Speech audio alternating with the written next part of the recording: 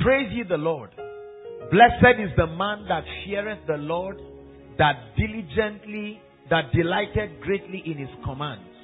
Verse 2. His seed shall be mighty upon the earth. The generation of the upright shall be blessed. Read verse 3 together.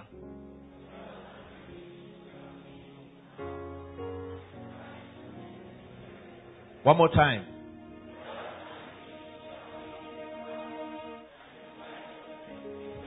Go ahead and personalize it. One to read.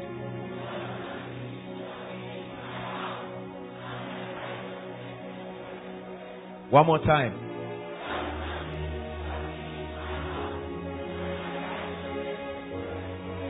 Psalm 35, verse 27.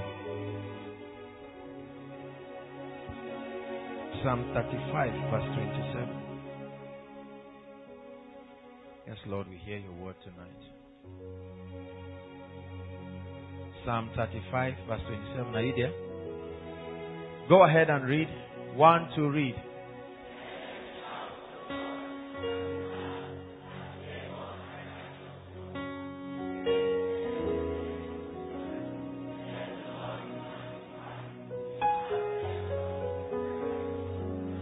Let the Lord be magnified, which hath pleasure in the prosperity of his servants. Let them continually shout for joy and let them say, Let him be magnified. The Lord who had prosperity, who had pleasure in the prosperity of his servants. We're going to go straight to the point. I have I've struggled through the week to try to make this series as rich as possible and as straightforward as possible, as direct as possible. I've spent a major part of my life studying the subject of success, the subject of wealth and prosperity, aside from my primary assignment. I have studied hundreds of people, millionaires, billionaires, both in the kingdom and outside the kingdom. I have read countless books have listened to videos in an attempt to simplify this mysticism around success, especially financial prosperity. A subject that is secretly admired by so many. A subject that has remained a mystery to so many, especially in the body of Christ. A subject that many have neglected to their detriment. A subject that has destroyed others. Very mysterious subject. Every time you talk about money in the body of Christ, you attract all kinds of reactions.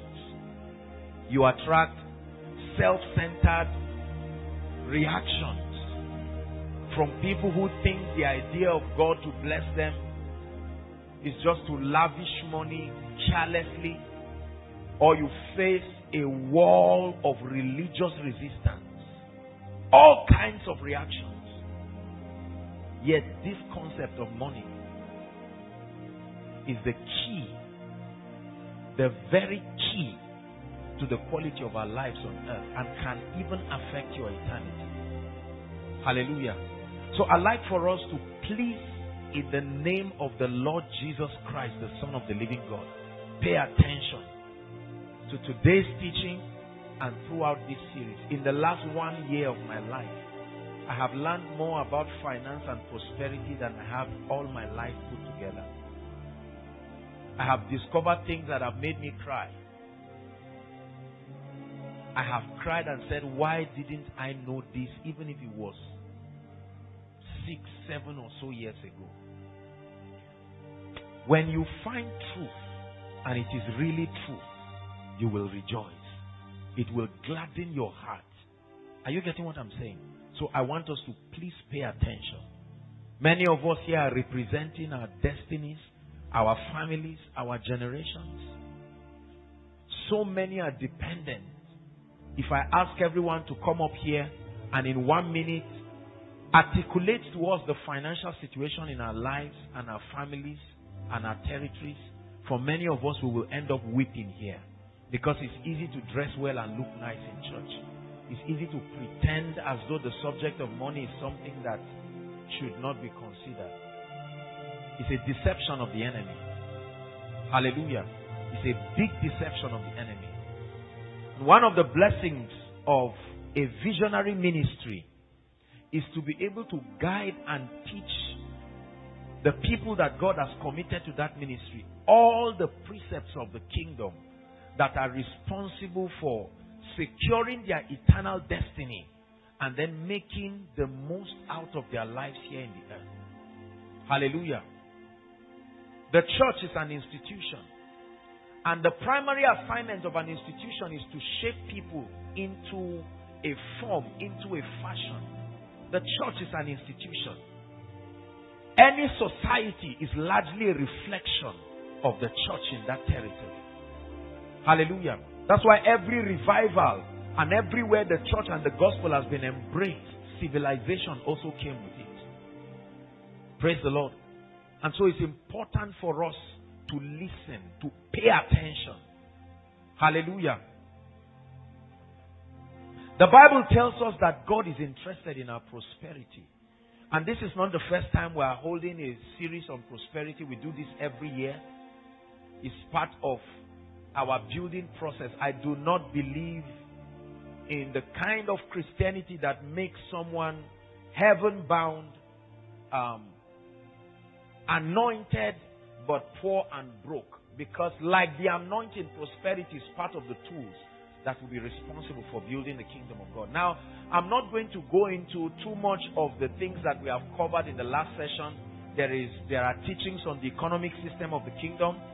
There are teachings on um, financial dominion, the last series we had last year. And I don't want to repeat myself because these things are captured. So we are going to, um, I will just do a quick recap because I have a lot to talk about. We want to delve into another paradigm in this series. I wouldn't want to repeat the same thing. In the last series, we took out time to explain define a lot of terminologies. If you've not listened to Financial Dominion, part 1 to 4, please, please listen to it. Hallelujah. The foundation, the building block to what I'll be sharing. So I'm comfortable to share and take it from here, assuming that at least many of us still have the understanding that we got from the last financial series. Although I'll do a bit of um, a recap. Hallelujah. In the last series, we talked about the concept of prosperity. How that the word prosper means to do well. Just a quick recap.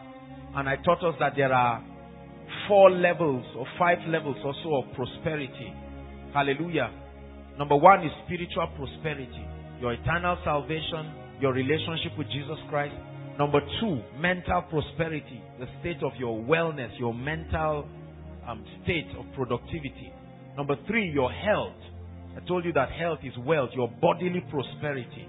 Number four, your financial prosperity. Now, um, the subject of abundance and financial freedom and so on and so forth. And then number five is your relational prosperity. The prosperity of your relationship with your fellow people. And we said that as a believer or in the kingdom, these five areas must be complete in your life for you to be called prosperous. Meaning, if you have money, and no relationships both with Jesus and with men, something is wrong, you are not prosperous. Hallelujah. Very, very important. So, um, we took our time to explain in the last series again on the concept of poverty. I will still define that. We spoke about a few terminologies poverty, prosperity, and so on and so forth. And we examined a few statistics. We examined a few things about poverty I shared with us on the spiritual laws of wealth, tithing, giving. We took our time to talk extensively about the different avenues for giving, kingdom investment, prophet offering, uh, so on and so forth. And then we looked at the natural laws. The gift of a man makes room for him. I spoke about the concept of value, problem solving, and so on and so forth. Um, I, I can't remember what else I spoke about, but then I think we did go that far But we'll be looking at another paradigm um, in this series. Praise the Lord. So let me just define a few things. I want to be very direct and I trust that God will help us in Jesus' name. Financial prosperity. What is financial prosperity exactly? Please be sure to write. Even if you don't have something to write, you can type it on your phone or your devices, whatever it is that you have. Financial prosperity means freedom from poverty. Freedom from poverty, lack, and the negative effects that come with them. Financial prosperity means freedom from lack, poverty, and the negative effects that come with them. Open bracket. Let's list out some of the negative effects. Number one, fear. Number two, insecurity. Number three, greed. Number four, self centeredness. Number five, unrighteousness. And the list goes on and on and on. So prosperity means financial prosperity now. Talks about freedom, total freedom from poverty, from lack, insufficiency, and the negative effect. I tell you, there are negative effects that poverty can bring to the life of a man. Hallelujah. I'll give you another definition. Financial prosperity also means having abundant financial supplies. Having abundant financial supplies. Alongside the means to replenish, multiply, and sustain its availability. Having abundant financial supplies alongside the means to replenish, multiply, and sustain its availability. To have financial supplies is not enough. There must be in you the ability to replenish, to multiply, and to sustain that supply. At that point, you are financially prosperous. Hallelujah. Are we blessed? Number two, let's define poverty. These are the two major words that we're dealing with. One is our friend, the other is our enemy. So let's define both of them. What is poverty? Poverty is a perpetual state of lack and insufficiency of financial resources. Poverty is the perpetual state of lack and insufficiency of financial resources, often characterized by lack of productivity. A perpetual state of lack and insufficiency of financial resources, often characterized by lack of productivity. If you have that down, say amen. It's important for us to understand exactly what we are talking about so that we are not lost in assumption as to what exactly we are talking about. It is the will of God for every single one of us seated here to come to a point in our lives where we have abundance of financial supplies, alongside the capacity to replenish, to multiply, and to sustain its availability. Hallelujah. Now, the church, let me start by saying this. The church has largely or greatly suffered from what I call the incomplete teaching on wealth and prosperity. One of the biggest tragedies of the church today, financially speaking, is that most preachers do not have financial literacy. And I told you the church is an institution. An institution is any platform that permits the transference of knowledge. Institution is necessary for development, for productivity in any society. There are governmental institutions, there are security institutions, right? And so on and so forth. The church, as an assembly, the gathering, the congregation of people is also an institution, both a spiritual institution and an institution in terms of education and impartation of knowledge. So, most of the mindset that people have had about finances, especially in the continent of Africa and Nigeria, has come directly from men of God. Because most people do not read books, they don't attend seminars, they have no passion and appetite for knowledge in terms of financial intelligence. So, their principal channel of communication, aside from education that gives them degrees and certificates, you are only in school for five years, but you are in the church for the rest of your life. Is that true? And so the church is a stronger institution that communicates knowledge. So the, the, the lack of financial knowledge and intelligence and literacy that we have is a direct reflection of the men of God that are upon our pulpits. Many men of God are anointed. Many men of God are sincere. Many men of God are genuine. They love God with all their heart. Many men of God are rich. They are wealthy. But very few have financial literacy. Is God helping us? And that lack of financial literacy has created all kinds of lopsided teachings about prosperity.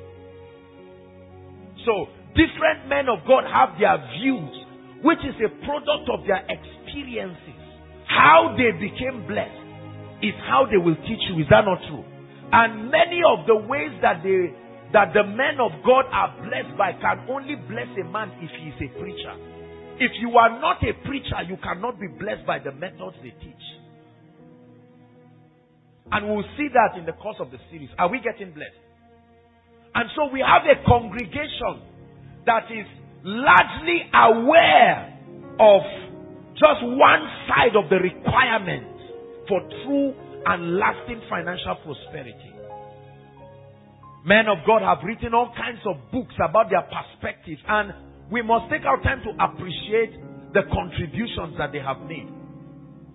It is only what you have that you can give. Is that not true? But then the Bible says a good shepherd lays down his life for his sheep. In other words, if I love my sheep so much or God's sheep has committed to me, I must go out of my way for their sake, beyond my experience to find out what is really required for them to prosper. It's called passion. It's called the heart of a pastor, the heart of a shepherd. It is selfish and self centered when a man of God comes around his perspective about wealth and advocates that perspective alone to people. And the result of that lopsided teaching is that only one person is getting blessed the person who is doing the teaching. And those who are passionately receiving and swallowing up everything he's advocating, hook, line, and sinker, find out that they are doing their very best, but they don't seem to connect to this key. And tonight, in the name of the Lord Jesus Christ, I trust that God will bring a perspective for us that can make every one of us seated here who is truly interested to be blessed. In the name of Jesus Christ.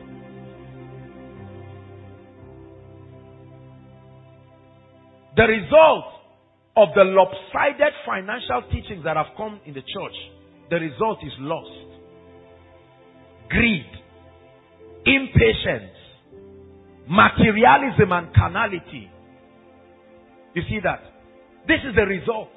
The resultant effect of the lopsided teachings we have brought to the body of Christ about prosperity is what has produced lust in people.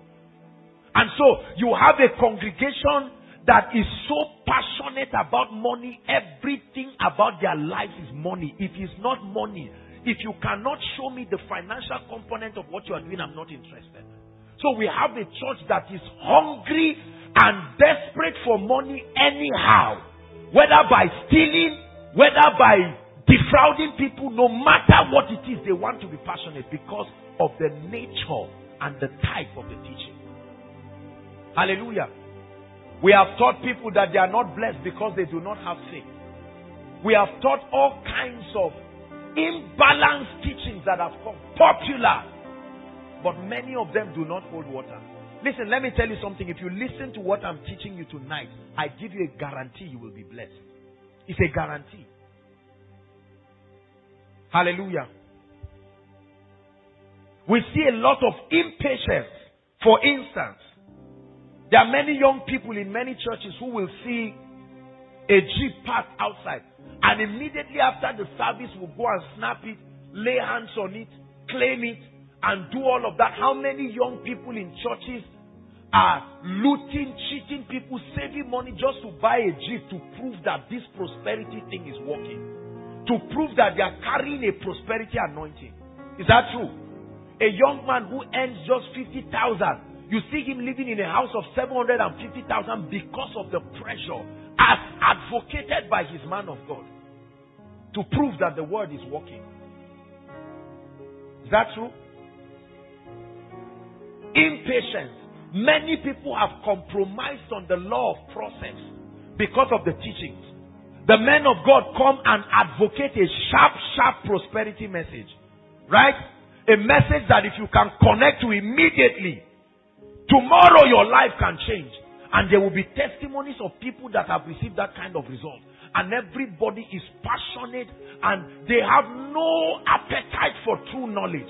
They do not have the staying power and the discipline to learn the principles and the protocol to the wealthy place. And so that loss is there. Everybody is moving around. Oh God, I will serve you so that somebody from nowhere will just bless me and change my story. It has been the basis for our many unscriptural prayers.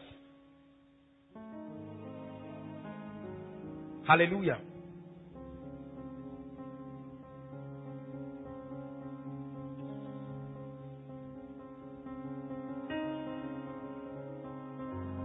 Statistically speaking, um, I wanted to play a little documentary for us, but I thought it would waste time. So maybe next week if we have time. Hallelujah. Wow, there's a lot going on here. Can you help me, guys? Can we push this a little back? So that can save me a lot of stress from this. Praise the Lord. Thank you. Hallelujah. Did you know that statistically speaking, about 20% of the wealthiest people in the world control 80% of the entire wealth in the world. In fact, just seven, seven of the world's wealthiest people have the wealth that is equivalent to two thirds.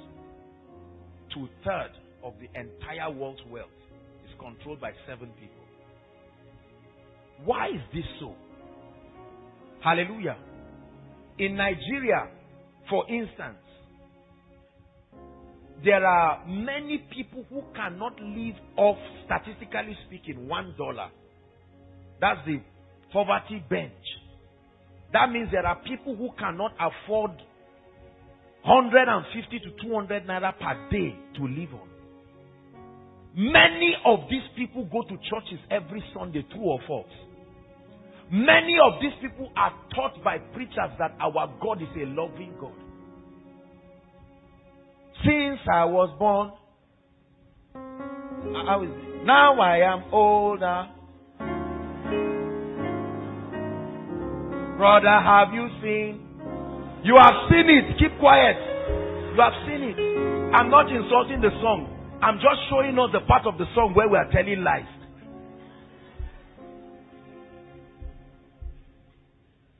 And many people dance and sweat their lives out and go back to the secret place and say, God, what is wrong? Who is lying here? You or my pastor or me? There is a lie somewhere in this equation. Somebody is not telling the truth. Hallelujah. How many angry church members do we have in Nigeria who have done everything they have been told to do over decades and nothing has happened? And the best spiritual explanation to save both the man of God and his integrity is the victim does not have faith. Praise the Lord. Is that really it? Is that re- how could God, who delights in the prosperity of his servant, make the subject of wealth and prosperity so mystical? Does that look like the God you serve? Hallelujah.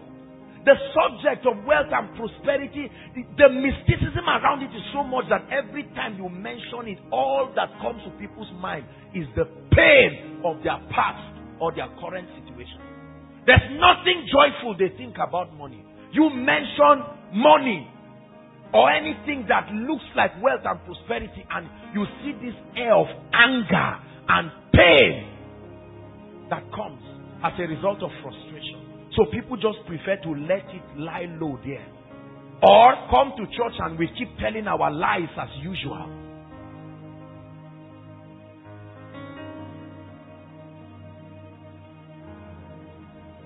When the Lord brings a word like this, the Bible says he sent a word to Jacob, but it lighted upon Israel. When the Lord brings a word like this to you, it's because of what you represent is because of many in your house that are waiting passionately and desperately. Poverty has done more harm, brothers and sisters, more than we can ever imagine.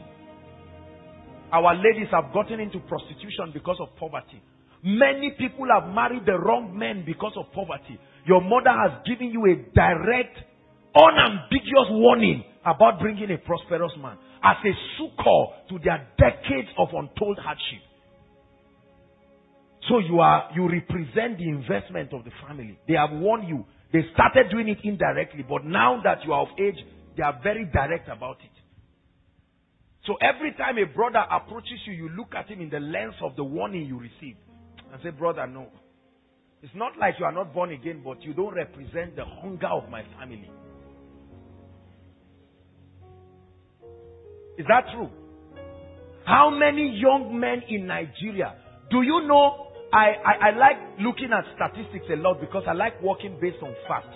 Are you aware, or graduate or prospective graduate, that only one out of every ten or more now graduates ever find any decent and meaningful job within the first five years of their graduation?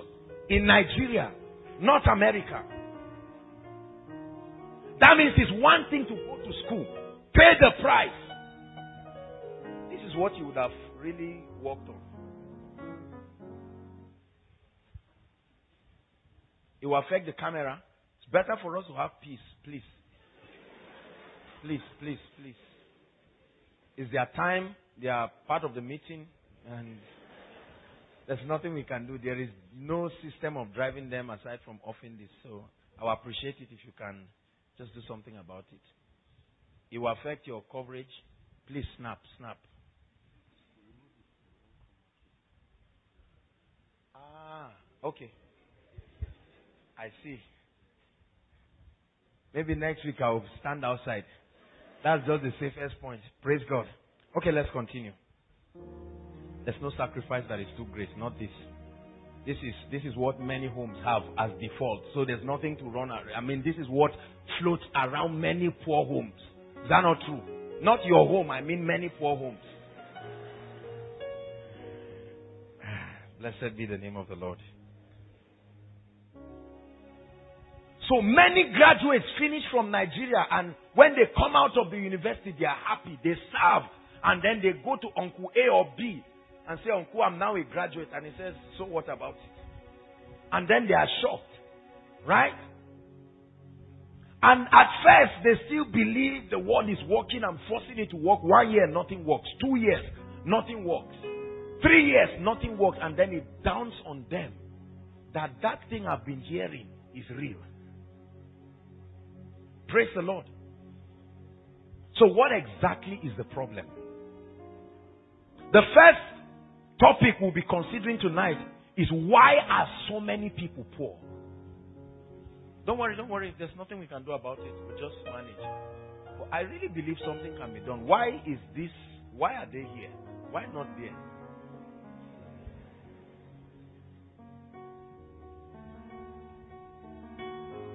Praise the Lord. Why are there so many poor people? Is it a cause? Is it, is it something that should be? Did God design it that way? If no, what is wrong? I want to give you a few reasons. All of them, all of the reasons I'm about to give you will surprise you. Some of them are deceptively simple that you may tend to ignore it. But please, I want you to write it and just let me talk to you. Are we blessed? Are we following, please? Number one, why are so many people poor? Number one, ready for this? They are poor because they have not decided to be wealthy. Many people are poor and will remain poor. Please underline the word decided because they have not decided to be wealthy. Now, this will shock you. Just hang on until I explain it. Many well meaning people in Nigeria are poor. And some of us seated right here have been extreme victims of poverty and lack and insufficiency because we have not decided to be wealthy. Number two, why are so many people poor? In fact, you can even put in bracket why are so many Christians poor? Because it's understandable if, if people are generally poor, there are demons around, there are all kinds of things around. But why are Christians, tongue talking Christians, tithe paying Christians, faithful Christians, why are we poor? Number two, many are poor because they do not have a goal to be wealthy. Hmm. They do not have a goal to be wealthy. Underline the word goal. Many are poor because they do not have a goal to be wealthy. Number three, why are so many people poor? Many are poor. This is a major reason now. Many are poor. You can bring that lady here. She can come and sit here, please. Those people who are having issues, you can come and sit here. There's, there's just endure people. There's, there's only so much we can do about it. Sorry about. Number three, are you there? Lack of understanding the real formula for wealth and abundance. Write real formula for wealth and abundance in capital letter. The third reason why so many people are poor is because of the lack of the understanding of the real formula. They have all kinds of things they call formulas, but the real formula for wealth and abundance. Lack of understanding of the real formula The biggest of all reasons why people are poor. Number four, the biggest of them all is lack of the mental transition from the realm of poverty to wealth and abundance. Oh, listen to me. Listen to what I'm about to teach you, please. Lack of the mental transition, underline the word mental transition, from the realm of poverty to wealth. These are the four major reasons, brothers and sisters. Look up, please. These are the four major reasons why our parents, our loved ones, our churches, our preachers, myself, you, and all the people that have suffered poverty, this is the reason why many are poor today and why they will continue to be poor. They have not decided to be wealthy. They have not set it as a goal to be wealthy. They do not even understand that wealth has a formula.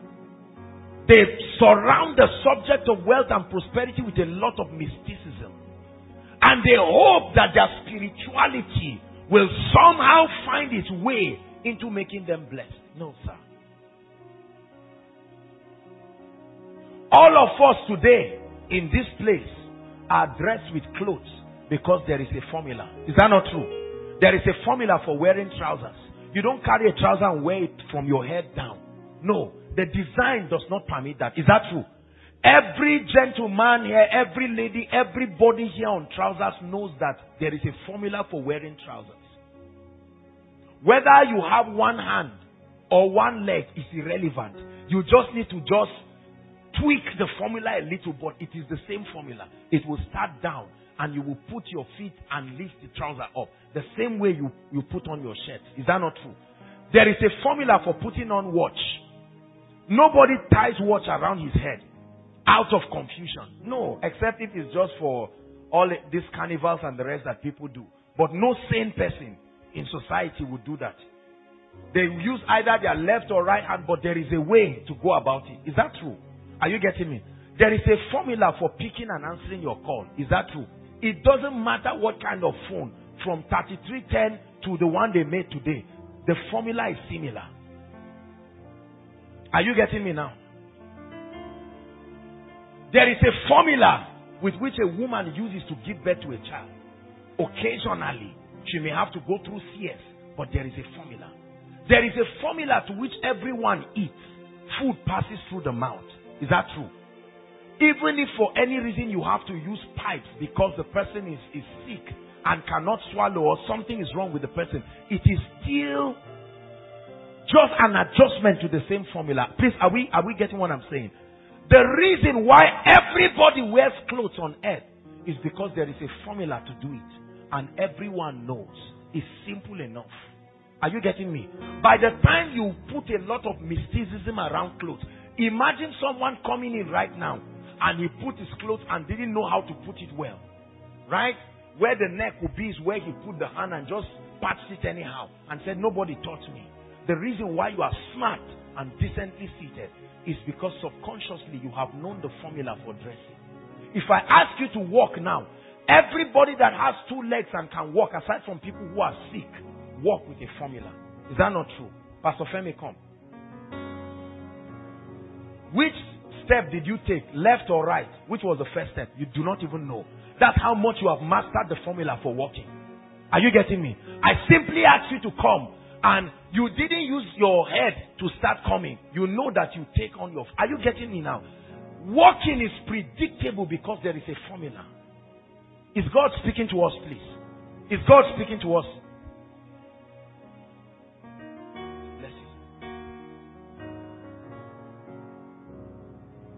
Every time the law governing an operation is not known, mysticism, mysticism is the result.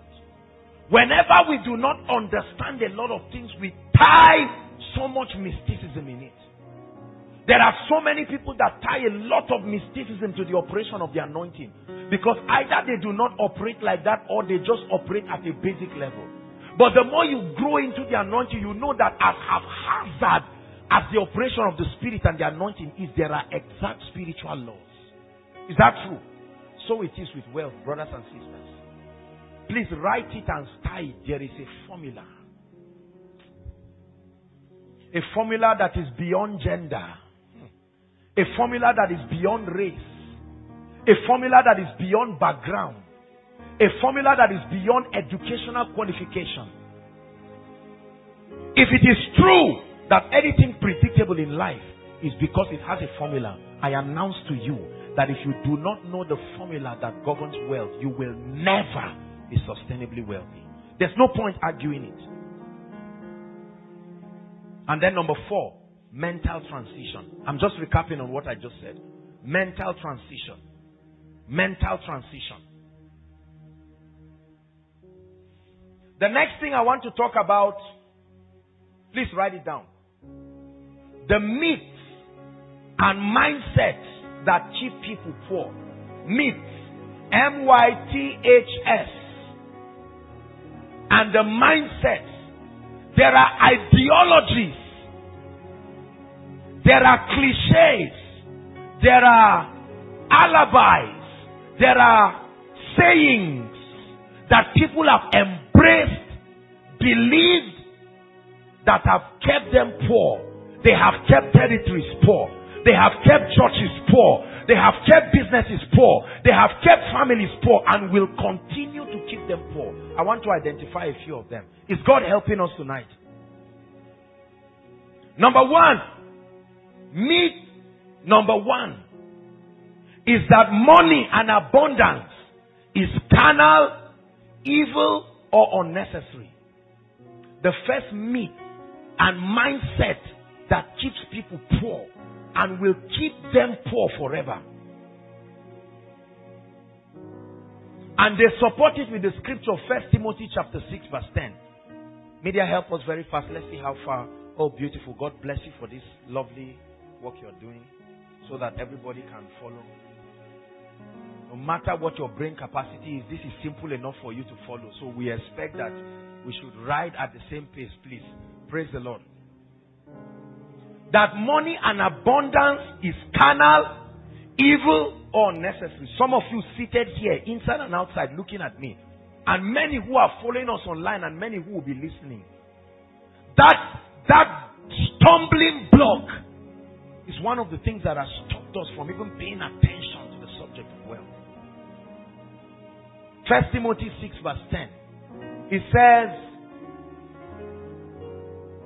For the love of money huh, is the root of all evil. It says, For the love of money is what? The root of all evil. While which while some coveted after they have erred from the faith and pierced themselves through many sorrows. Now, many preachers have taken this scripture and twisted it and made it look like every time there is any desire in your heart to be blessed, you are carnal, you are fleshly, you are of the devil. The Bible never said money is the root of all evil. It said the love. The word used here is the word eros. I've taught us here. Right? Eros. An ungodly affinity, an attachment to money and finance that can lead you to losing your faith and you can pierce yourself with needless sorrows. The Bible never, never ever, never ever says money is evil or money is the root of evil.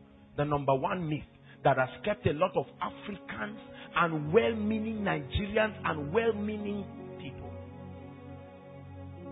You talk about money, especially to those who are a bit elderly, and hear their response about it. No, no, no, no, no, no, no. Take the world and give me Jesus. Right? And it's supposed to be a very innocent cliche, but we need to observe what we're saying. Let me tell you. That conclusion was unconsciously drawn after repeated frustrations. Usually that's what happens. When you try and try and try and try and try and do all you know and nothing works, you safely create something that excuses you. Is that true? And oh, what a joy when you find a scripture that can back up your frustration. That's what has happened to a lot of people. Some of us seated here right now. Myth number two. If God really wants me rich, He will make me rich. Myth number two. False beliefs that people have embraced that has kept them poor, kept churches poor, kept territories poor. And their supporting scripture is Psalms 84 verse 11. I'm showing you myths. We're examining myths, mindsets, ideologies that people have embraced that have given Satan access to whip them with poverty. If God wants me rich, He will make me rich. If I am not rich, it's because it's not the will of God. God did not plan for me to be rich. Many of our parents told us that. They whipped us as they said it. God doesn't want us rich. Us, we are. No, no, no, no, no. This is the scripture. For the Lord God is a sun and a shield. The Lord will give grace and glory. No good thing will He withhold from them that walk uprightly. And that means if I love God and I'm fasting, I'm a member of Koinonia Prayer Band, I'm a member of the worship team, right? I serve God with all my heart and I do not see abundance based on this scripture as twisted by many preachers. It convinces us that this is a sign from heaven that you and prosperity is not part of your, your lot and you embrace it happily and satisfactorily. Most of the preachers that preach that thing, you go to their board meetings and hear them argue about their salary. You go to their board meetings and hear them argue about welfare. Right? Argue about so many things. The man who is preaching that error has his car parked outside. Immediately after the service, he's walking happily. There is chicken or turkey that has been prepared to him for him by his wife. There is prophet's offering or whatever waiting for him after the service. And the helpless congregations who have swallowed that error like a drug will begin to see its reaction in their lives. Hallelujah. Is God helping us? Myth number three. One of the most deceptive. That tithing is the one and only key to abundance. Yeah. This looks common. Many of us, until now, as I'm talking, you have embraced it as your master key and only key to a world of financial abundance. Let me tell you, there is no fallacy that is bigger than that. This will shock many of you. And I'm sure many people will now persecute me. That myth that tithing is the one and only key that is responsible for abundance in the life of a man, I am telling you this, hear me, is a deception from the pit of hell. That means when I come before God and I drop my tithe, I go back and I say, Lord, that is it. Where is the money? And we wait days turn to months, months turn to years, years turn to decades. There are people that have been tithing faithfully for decades. But it seems as though God has refused to open the heavens for them. It is not the unfaithfulness of God, it is our not understanding His ways. At the end of this teaching, you will get on your knees and worship God because you will see that He's truly a faithful God. Hallelujah. And we support it with Malachi 3:10, popular scripture. Right? Prove me now, herewith said the Lord, if I will not open the windows of heaven and pour you a blessing.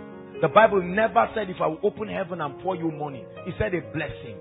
Number one, you need to even know where the room is that the blessing is going to come. Because the Bible says that the blessing will come into a room. Where is it? The last time you checked your room, you didn't see anything there. That means you must understand God's language. Our lack of understanding has made us to embrace a lot of error. Number four, Another deceptive myth. As we are going, it gets more intense. Because this one I'm about to say affects so many of us here. Ready for it? Hmm. Myth number four that keeps people poor. And if they don't change, will keep them poor forever.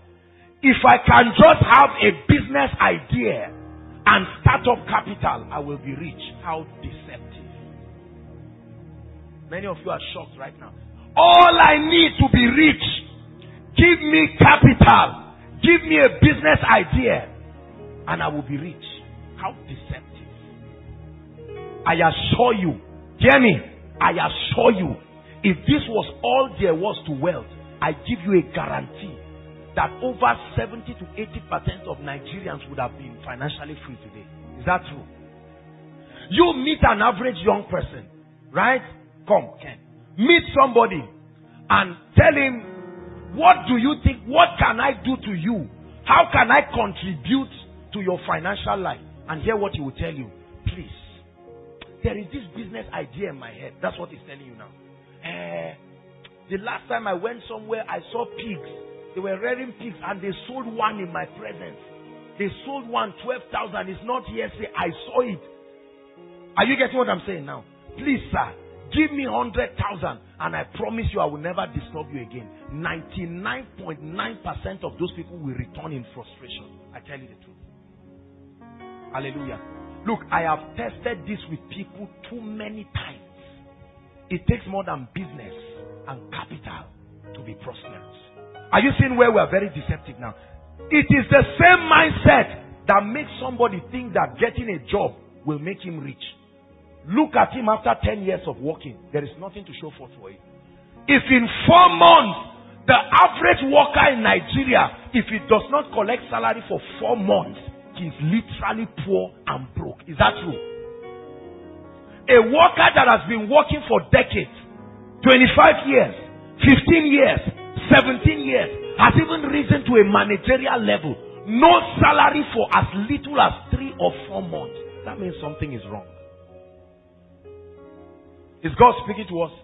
There are many of us, you receive maybe pocket money or, or money or whatever. Some of us who are working, you receive your salary, and we believe that all I need to do is to get a job. Oh God, Shell, Shell, Shell, Chevron, NLNG, CBN. Huh? Or if I become a soldier.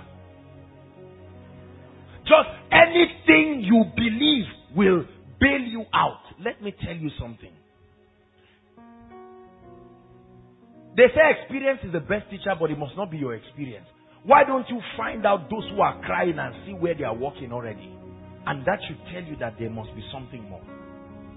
Is God helping us? There are many of us, as we're seated right here, we are angry with our uncles. We are angry with our aunties because the last time you went, you just went and said, Sir, if you can give me only 20,000, all I need is 20,000. And I swear, that's how many of, I swear to you, 20,000 and it's over. Don't ever give me anything again. They gave you 20,000 in three days. You didn't even start the business in the first place. You see that? You didn't even start it. Because most likely with that money you were paying somebody you were owing. Is God speaking to us, please? The fifth myth that keeps people poor and will continue to keep people poor is what I call entitlement mentality. Everybody say entitlement mentality. Now write it. Entitlement mentality. The feeling that someone somewhere is responsible for your success and prosperity. Entitlement mentality. That feeling that my prosperity is in the hands of my uncle or in the hands of my father. After all, he gave birth to me. If he does not take care of me, God will punish him. The entitlement that government, I'm a citizen of Nigeria. From 18 years, they are supposed to be giving me money. Now I'm 35. Government is owing me for 18 minus 35, that number of years. Entitlement mentality. You see people carrying placards all around, loitering our streets in Nigeria, advocating a cause they will not directly benefit from because it gives them succor to pass blames. Entitlement mentality. You think one of your uncles or your friend or your pastor or your family, some of us are angry with our uncles. He's the director of of, of NNPC. What is there to just give me a job? Wicked and stupid man. You see his children, you hate them. They greet you, good afternoon, uncle. Say, the day you greet me, I'll wound you. You are stupid as your father. Entitlement mentality. There are many of us, don't laugh, oh, there are many of us who hate our fathers and mothers and relatives.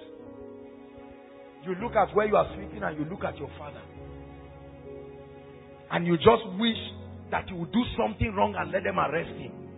Just to ease off your pain.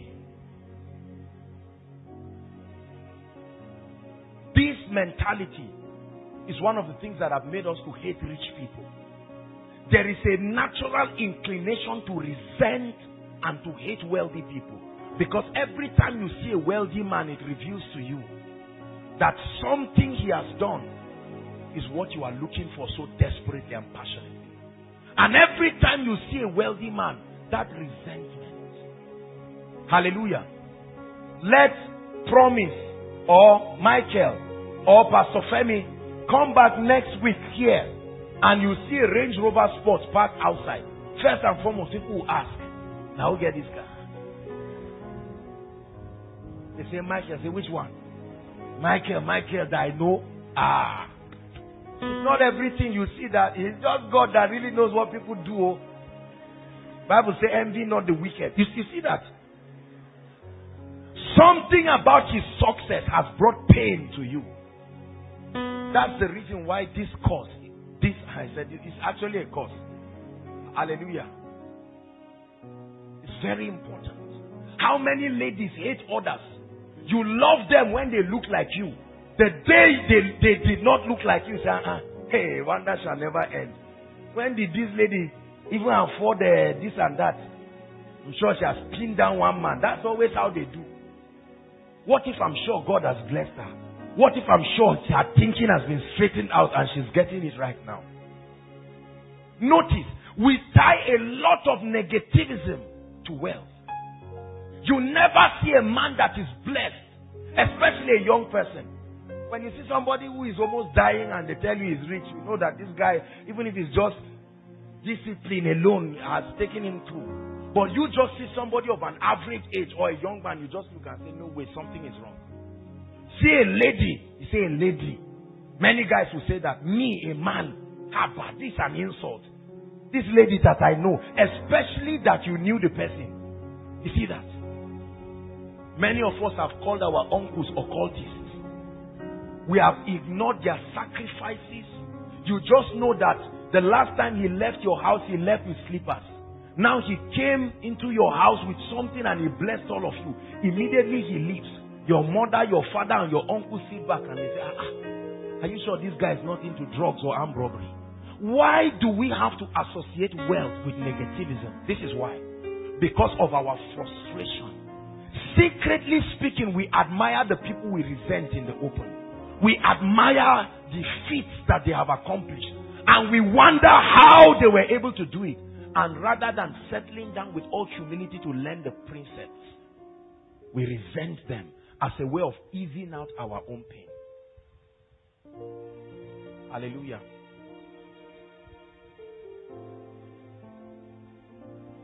Friends, listen to me. Every one of us seated right here will have to make a choice in the course of this conference.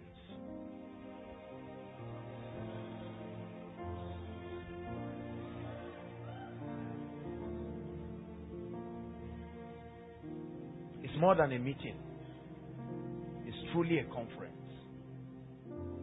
Every one of us will have to make a decision whether you want to remain the way you are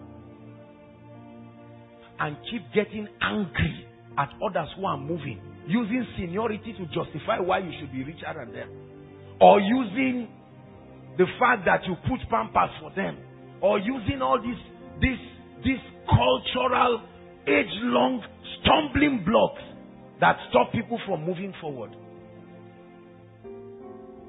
Or you can choose and say, Lord, I'm face to face with my destiny and I'm ready to confront this. What you never confront, you will not conquer. Assumption is the least level of knowledge. If you assume you, you have your destiny, your financial destiny straightened out, you are already in error. There is a spirit that attacks the message of wealth and prosperity in the body of Christ. Now, I know there are imbalances, but let me tell you one of the strongest assaults of Satan in a congregation is when the message of wealth and prosperity is about to come. And he uses spirituality to launch that attack. The moment you begin to hear a message like this, something shuts you down. You are not teaching of prayer or on the anointing or the wisdom of the spirit or levels of spiritual growth or fasting and praying or evangelism. You are talking about money and you just shut down.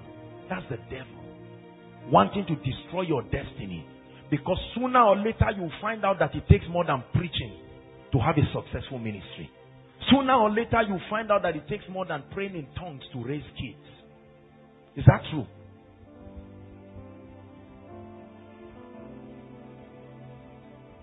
Every one of us here is suffering or has suffered from at least one or more of this mindset. And right now, before we continue, my job tonight is like a surgeon. There is a surgery that is about to begin. I just gave you this, this um, background before I build on what we are going to talk about tonight. I want to teach you something that will change your life forever if you care to pay attention. I am determined. I've made my decision already. But I want to see how that God will help all of us together to come into this decision.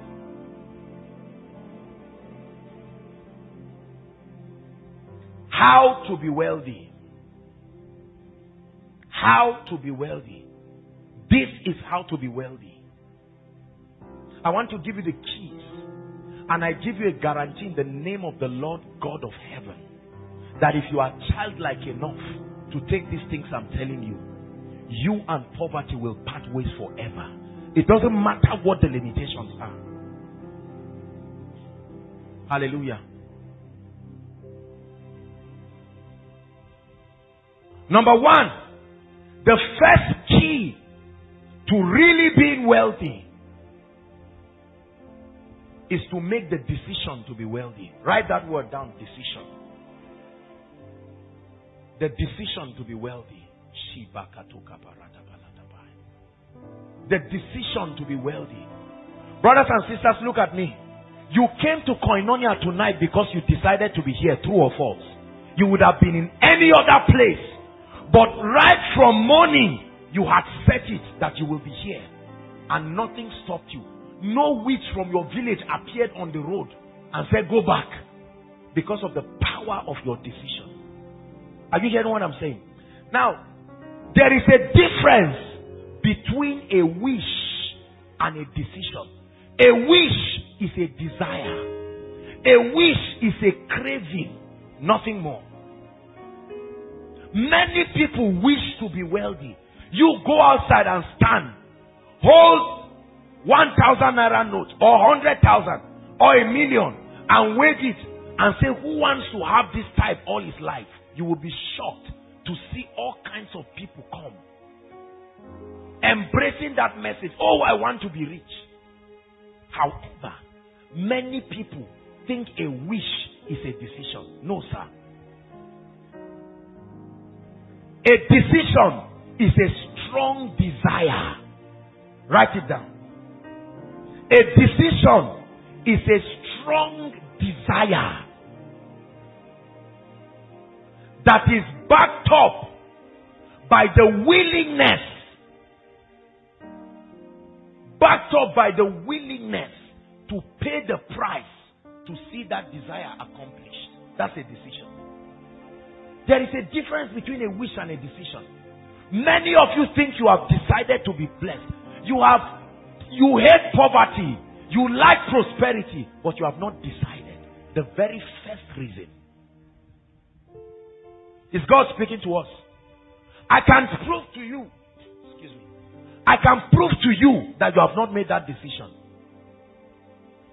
Show me what you are doing right now in your life to support your decision. You decided to love God, and that decision, I can see the things you are doing. I see you running away from a nightclub. That is a sacrifice to honor your decision. Is that true? I see you panting after the word of God. I see you using the money that you should buy shoes and clothes with to buy an electronic device that you can use for your spiritual growth. That is a proof that you have decided. Hallelujah.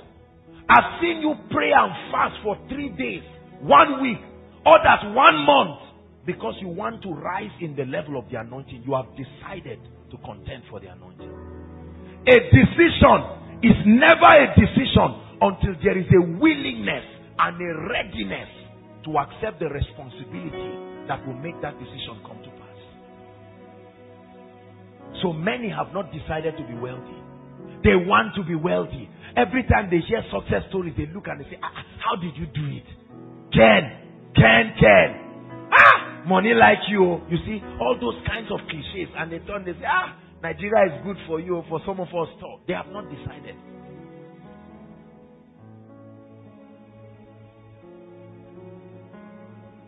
How many times have you seen a very wealthy man that you have access to and you came and sat down and bought five alive, dropped it at the feet of the person and say, I came purposely because I want you to teach me the principles. You are wealthy. I've seen the proof.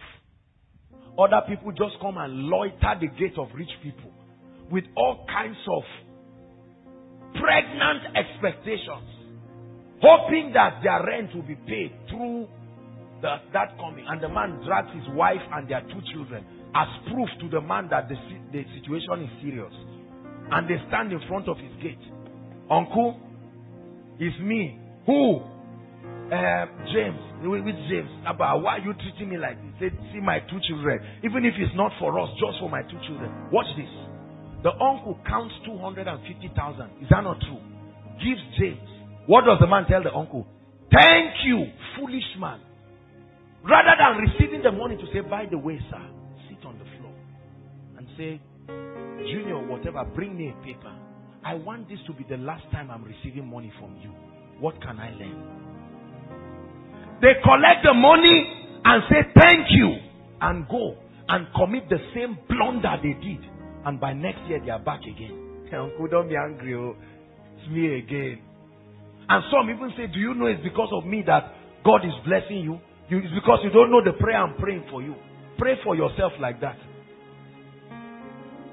You try to make people feel guilty because you think that you have a stake in their wealth. Are you getting what I'm saying? Some of you have very wealthy parents. And you are just hoping that you, when you get to 30 or 40, they will now call you and say, now you're a man, you have three children, this estate is for you. What sort of a dream is that? Everybody say, I decide to be wealthy. It's shocking some of you right now because you are seeing that you have never decided. You decided to get married. Some of you have made a decision. I must marry this year. You gave it a time target. You made a decision. Right now, you are on your fifth marriage book. And you will truly marry because you decided to. But you won't be rich because you have not decided to. You hope you will be rich. You pray you will be rich. You wish you will be rich. You beg to be rich. You want to lambano the richness or riches. No matter what Greek and Hebrew word you speak, let me tell you the truth. If you do not know the path to wealth, you will, you will end up in bitter frustration. Hallelujah. Those in school, you are in school today because you decided to be in school. There was a time you looked at that course and you said, Kai. But something in you. It was your decision that made you to run and go and write the exam in the midst of the rain. Your umbrella was missing, but you know 8:30 they may not allow you enter. That decision sponsored that sacrifice, and you didn't apologize to yourself. Decisions are powerful. You preach a salvation message and you give people room and they decide, I want to give my heart to the Lord. And they prove that it's not just a wish by standing up to ignore the shame and the embarrassment. And sometimes you see people stand crying. They mean business with God. You are seated here right now because you decided to sit down. At the point you are tired of sitting, you have every right, unhindered, to get up and walk out of this place. Is that true? You are only seated here because of your decision. We do this in every other area except our finances. Because we have been taught that it will happen automatically. You must decide to be wealthy. You can decide to reject poverty. That's not the same as deciding to be wealthy. I made up my mind that I was going to be wealthy that I was going to be blessed. I took out time to make sure it was a decision that I honored. And there is nothing that would change my mind about it. Right here where you are sitting, look at me. If you decide that what you need right now is 2000 to cure the current hunger, because of that decision, the 2000 will come. But afterwards, you will be poor. Is that true?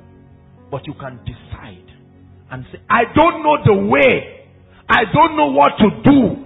I'm clueless about the direction, but start with a decision. All decisions are free. You don't pay for them. That's why every man who is poor has a right to remain poor. Decisions are free. You pay for knowledge, you don't pay for decisions. Is God speaking to us? Decisions are absolutely free. Decisions depend on you alone. They don't depend on the cooperation of another person. So you have no excuse to say, I would have decided, but Kai, the way I saw this guy looking at me, what if I. No, no, no, no, no. It's a personal decision. I will. I will. I release my will. I make that choice. I choose to partner with God. I choose to partner with the spirit of wisdom.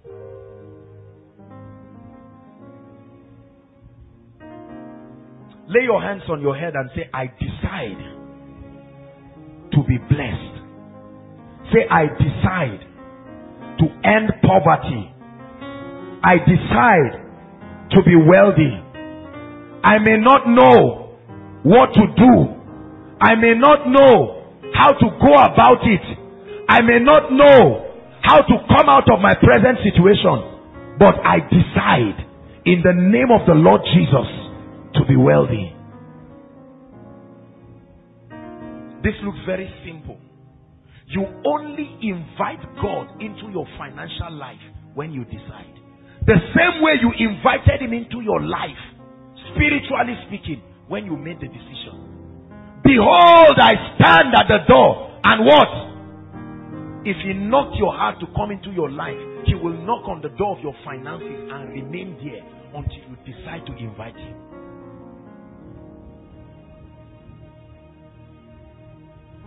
You may not know what to do, brothers and sisters, but can you decide? Your father went to school, your mother went to school, your father got a job, but they never decided to be wealthy. They decided to get jobs, and so they got it. They decided to marry, they decided how many children are we going to have? One said three, one had five. They voted. Majority carried the vote. You are five now. Right? Because of that decision. You decided to wear the dress that you are wearing today. No demon in your village, I say it again, Africa. No demon in your village showed up in your wardrobe and said, This one is my own. No. As you were picking the shirt, no spirit paralyzed your hand because your decisions were honored both by God and the devil. Is that true? You had a choice. We trivialize the power of decisions in our finances. And so you see a lot of people outside. This is how they talk. Kai, when will my story change? Oh God, oh God that changes stories. That's not a decision. That's a communication of regret and frustration. It's not a decision. Or, oh Lord, this job, if my arrears comes, ah, my life will change. It's still not a decision. A decision is I have come to the end of my life. I have seen what has happened to my father and my mother. I've seen myself beg my way through life. I have seen the fierceness of society. I have seen the inevitable frustration that comes as a result of poverty. And I decide, I make up my mind that my life is not going to be this way. Brothers and sisters, you are not drinking today because you decided to.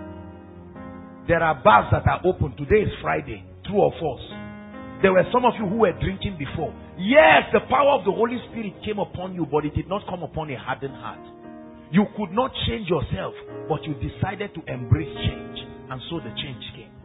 You may not have the power to change, but you have the decision to permit that power to come.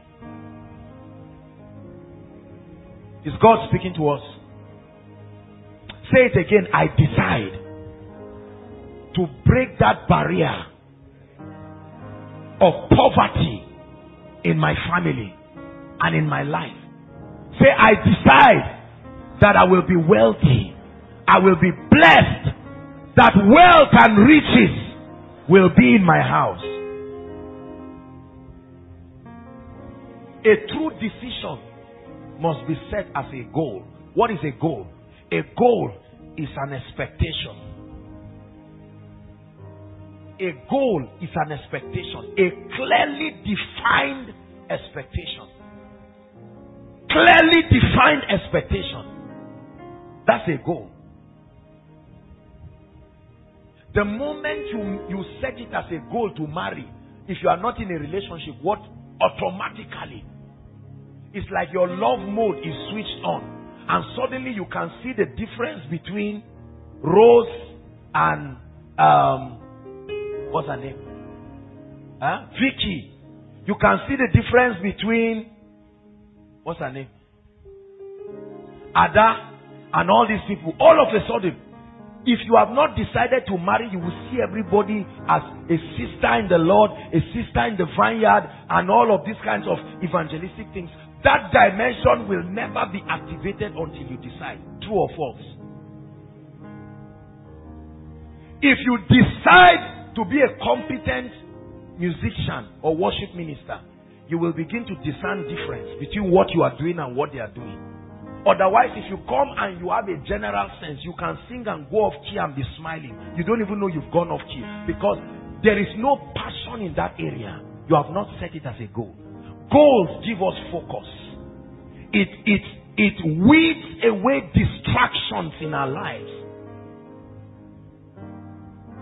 Man can only accomplish what he sets as a goal.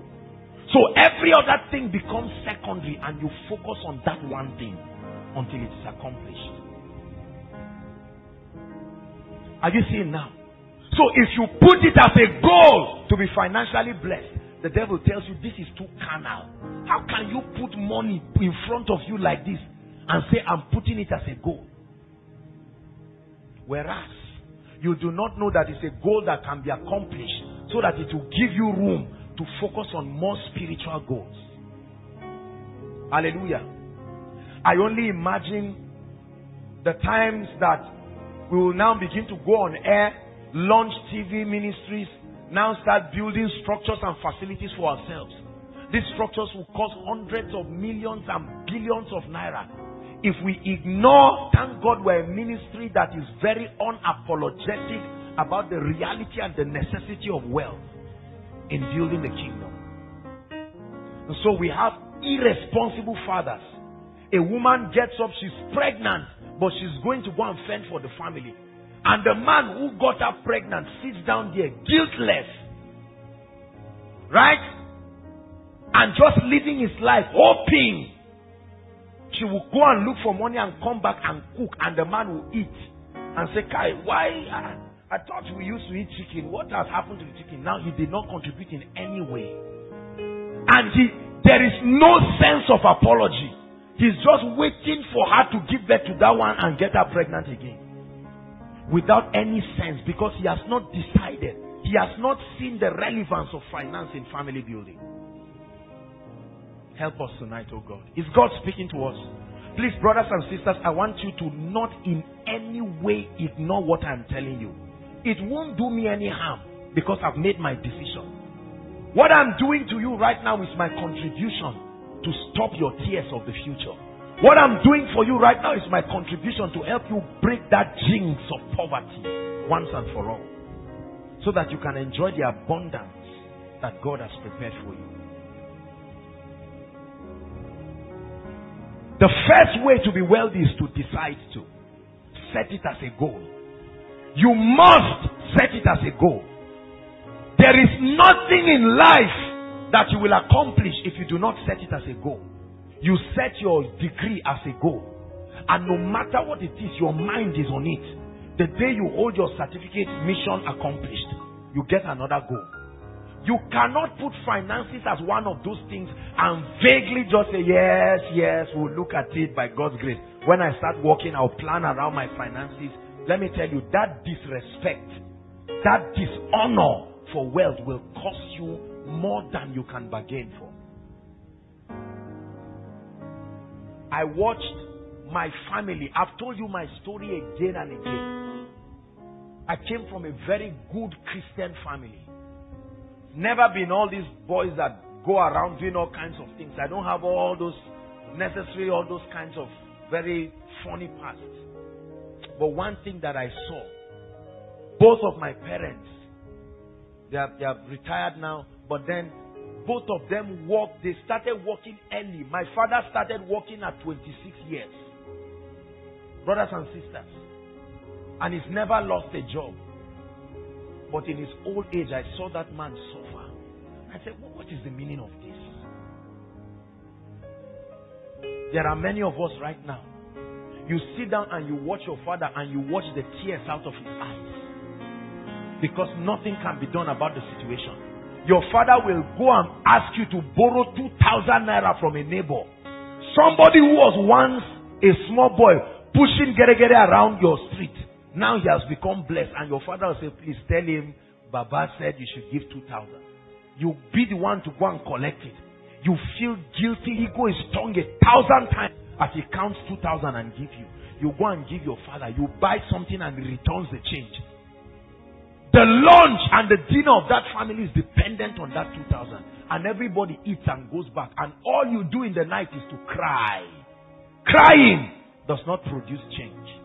It may comfort you emotionally, but you must set it as a goal. I can remember the day in my life I vowed before God that me and poverty, we have drawn the line. It was a decision. I made up my mind that whatever it would cost me under God to explore what it would take to get out of this thing, I never want to look at my children one day and see that I cannot afford to pay school fees for them or I cannot afford to bless them. There are so many people Imagine, brothers and sisters, that you came for koinonia and you saw that there were no chairs. Everywhere is. And we say, brethren, um, there is a serious financial situation here right now. Everybody, can you contribute whatever you can bring? We need to buy fuel. We need one jerry can of fuel as a matter of life and death. Oh, apostle has not eaten. If you really want to hear anything sensible this night, please, let's rally round and rush and see how we can come to the rescue. You laugh about it and you trivialize it today. May God give you grace to start a ministry and you will respect what I'm saying. You will see how that you can pray and tongues won't come out because you cannot see where the finances will come out. And you stop. You won't know when you stop. The load on your head is not demons. You are hearing voices. You are seeing things. That's what makes many of our fathers to be. They didn't start like that. At 40, he's talking to himself. Right? He sees you and calls you by the name of your elder brother. You think it's his fault? Something happened. A load that would have been lifted and thrown away was permitted to sit on his head for a long time. And that's the result. And many of us, as young as we are, that load is already coming subtly. You found out that you used to be kind and nice now at 27, see how angry you are at everybody. Welcome. The load is landing. It's like a lift. By the time you are 31, you hate everybody around you.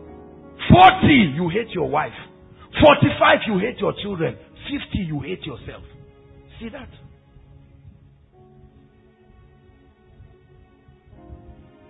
Number two,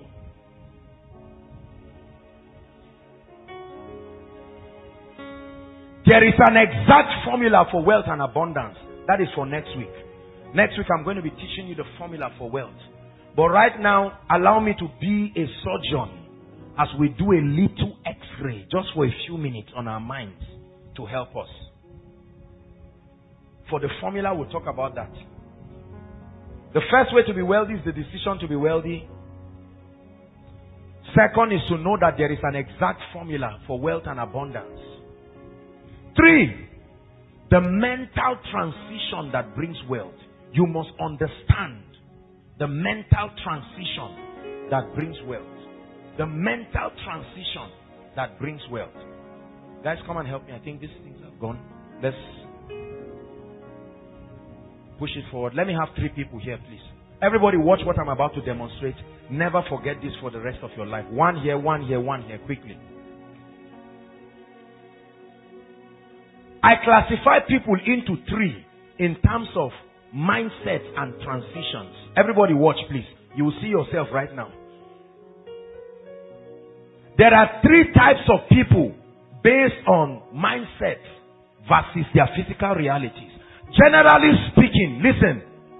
Generally speaking, there is a law, and this is the law that your physical condition Your physical condition today, today, whether you believe it or not, is a reflection of your ideology so far. Your physical condition today is a reflection of your thinking of yesterday. Are you getting me? Your physical condition tomorrow will be a reflection of what you are thinking right now. Your thought process, your mindset, the content of your ideologies. A direct, exact reflection of your thought life and the quality of your mindset. The level of ministry that we are enjoying right now is a direct reflection of what our mindset and understanding about ministry has been. If we never upgrade, this is the level we remain forever. But if we upgrade, then we rise. Your music ministry, your life, whatever it is that is happening in your life, I'm telling you right now, is a messless reflection of your mindset and your ideology. Let's have that in mind. So, I look at my life today and all that I see is a reflection of the way I have thought about God, about success, about people, about ministry, about life. There are three people. Watch this. The first type of people that we have are those who have poor mindsets and poor physical realities. Write it. A poor mindset dash poor physical reality. That's the first kind. I'm giving you a classification of people now in terms of wealth. This guy, in this example now, has a poisonous mindset about wealth. This is the guy that sleeps under the bridge. This is the guy that smokes around. This is the guy that believes that cheating and looting is the way forward. This is a guy angry with his uncle. This is a guy angry with God. This is a guy angry with government, angry with his boss in office. There is a mindset that he has, and there is nothing in his life. He's living a beggarly life, he's living a poor life, and he has a lot of contemporaries who are like him. Are you getting my teaching now? All his contemporaries think like him, they think like him, so they all discuss. You hear them say things like, Kai, one day go better. That's the mindset. Poor mentality. They are the ones who borrow to do everything. They borrow to eat. They borrow to buy clothes. They borrow to buy phones. They do everything, borrowing, borrowing, borrowing, and they live perpetually in the course of debt. This is the person. I won't go back I can't go back to the way it used to be before your presence came and changed me. I won't go back, can't go back to the way it used to be before your presence came and changed me. This guy is blaming the witches in his village as the reason why he's poor. He's blaming his grandfather that cannot walk. And he's saying the way he looked at me when I went to the village, the way his eyes was, that's why I'm poor. Are you seeing that? This guy is blaming his class of degree to why he's poor. This guy is angry with everybody. He wants to change. He hates rich people. He hates blessed people. He gossips about them. He resents them and he's hoping to be like them. Paradox. Could that be you? Could this be you I'm describing right now? I know you are praying in tongues, but could that be you? That right now, the reason why your life has not changed, the reason why your pocket is empty, listen, the biggest difference between the rich and the poor is not money in their pocket. Money in their pocket is a, is a reflection of something going right. Money in their pocket is a sign that they have gotten something right. The money in their pocket, their financial abundance is their receipt in the school of wealth. It's a sign that they have purchased something Are you getting what I'm saying? Unfortunately, we concentrate on changing our physical reality. This guy, this guy is trekking from pillar to post.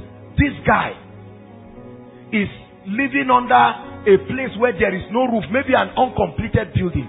This guy has been rejected by his family.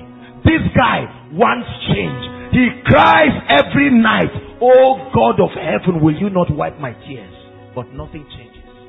God seems to be infinitely silent about his situation because he does not know that before he prayed, the prayer had been long answered. God will not answer the same prayer twice.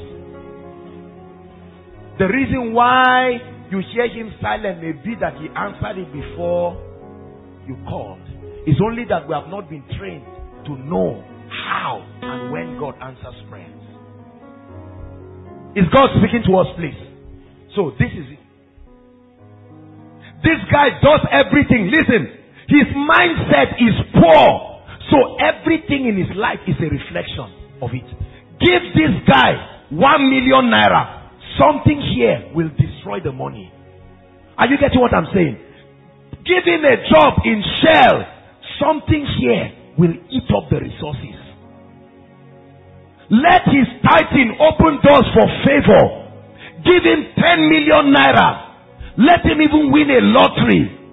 Something here will frustrate what is in his physical reality. Are you getting what I'm saying? Dash him a house. Dash him a house. Something about his indecision. He will be under pressure and he will sell the house and use the money to eat it. Armed robbers will kill him. He will run his mouth to the wrong people. They will beat him and collect the remaining money. And the guy will say, I remember, this house was my own. Now they've renovated it. It was his own. No matter what you do to help this man, you waste your time. It's like pouring water in a basket. Hear me. If you really want to help poor people, you don't help them by giving them money. That's why I feel sad. I believe in charity, oh, but the solution to empowering people is not carrying bags of rice and floating around and snapping in front of um, bags of beans and sewing machine and and and and uh, uh, opening saloons and so on and so forth. You don't change people like that. All that rendezvous of giving people money. I dash you 20,000. I dash you 50,000. And the person comes say, praise the Lord. I was nobody. But see now they gave me 200,000. Is that what will make you somebody? There is an error. Is someone getting what I'm saying?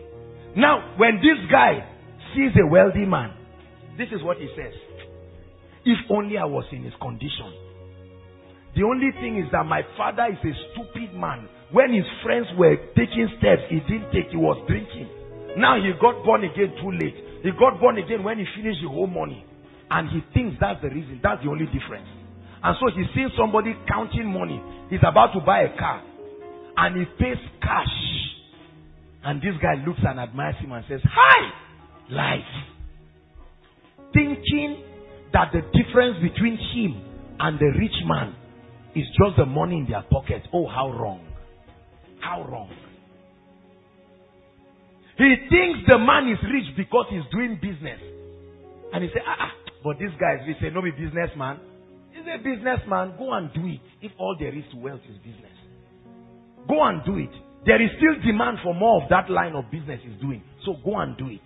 If you think all there is to wealth is business, are you seeing the balance now that I'm giving many of us? Because all through, there are many of us, the moment they talk about finance, you just suit up and you just think CEO. Calm down. It's not CEO. It's right here. Your mindset. Everybody say my mindset. My understanding. God wants to step into his life and change his story. But they limited the Holy One. His mindset. He has not made the decision to be blessed he does not care. He only wants things to change. This man does not want to take responsibility for his destiny. All he wants is let friends, in-laws, cousins give him money. And now as a result of that frustration, the day his daughter starts going out with an unbeliever, so long as he's getting money, he does not mind. Let her go to hell so that I will get money. It doesn't matter. Many in the body of Christ are here Favor, when it comes to this life, is like one million times zero. Because favor comes to hit a rock. So God has been sending in favor to this man. When he does calculation of all the monies and the opportunities that has come, this man, because of his mindset, he does not know the law of honor. And so all the destiny helpers that come into his life, he throws them away because his mindset is destroying him. Is God speaking to us? I'm not just talking about money. He meets a rich man, has access to that man for two weeks, and is there licking his mouth, waiting for the last day when the man will leave so that he will count 50,000. Because his mindset does not teach him that until here is changed, your hand cannot change. That's why the first dimension of the anointing for wealth, hear me, is not to give you money. Thou anointed my head with oil. There is a reason why it's your head. It starts with first. Thou anointest my head with oil. Something must happen to your head for your cup to run over. Why didn't you say, Thou anointed my hand? I thought you hold cup with your hand. Thou anointed my head. There is an anointing that needs to do something here for my cup to start running over. My cup is at the mercy of my head. So the Bible says, Ye have an unction from the Holy One. He said that anointing can teach you. That anointing can teach you. The anointing does not just give you power to gyrate around and say, I have the Esther anointing. Whether you have Deborah's anointing, Esther anointing, uh, Jennifer's anointing, it's not going to do anything. Brothers and sisters, the transition. Something about his mindset resisting God and is resisting money. Here he's waiting for God to come and change his life. I will wait till my change comes. He doesn't know what he's saying. Oh. He thinks he knows. I will wait.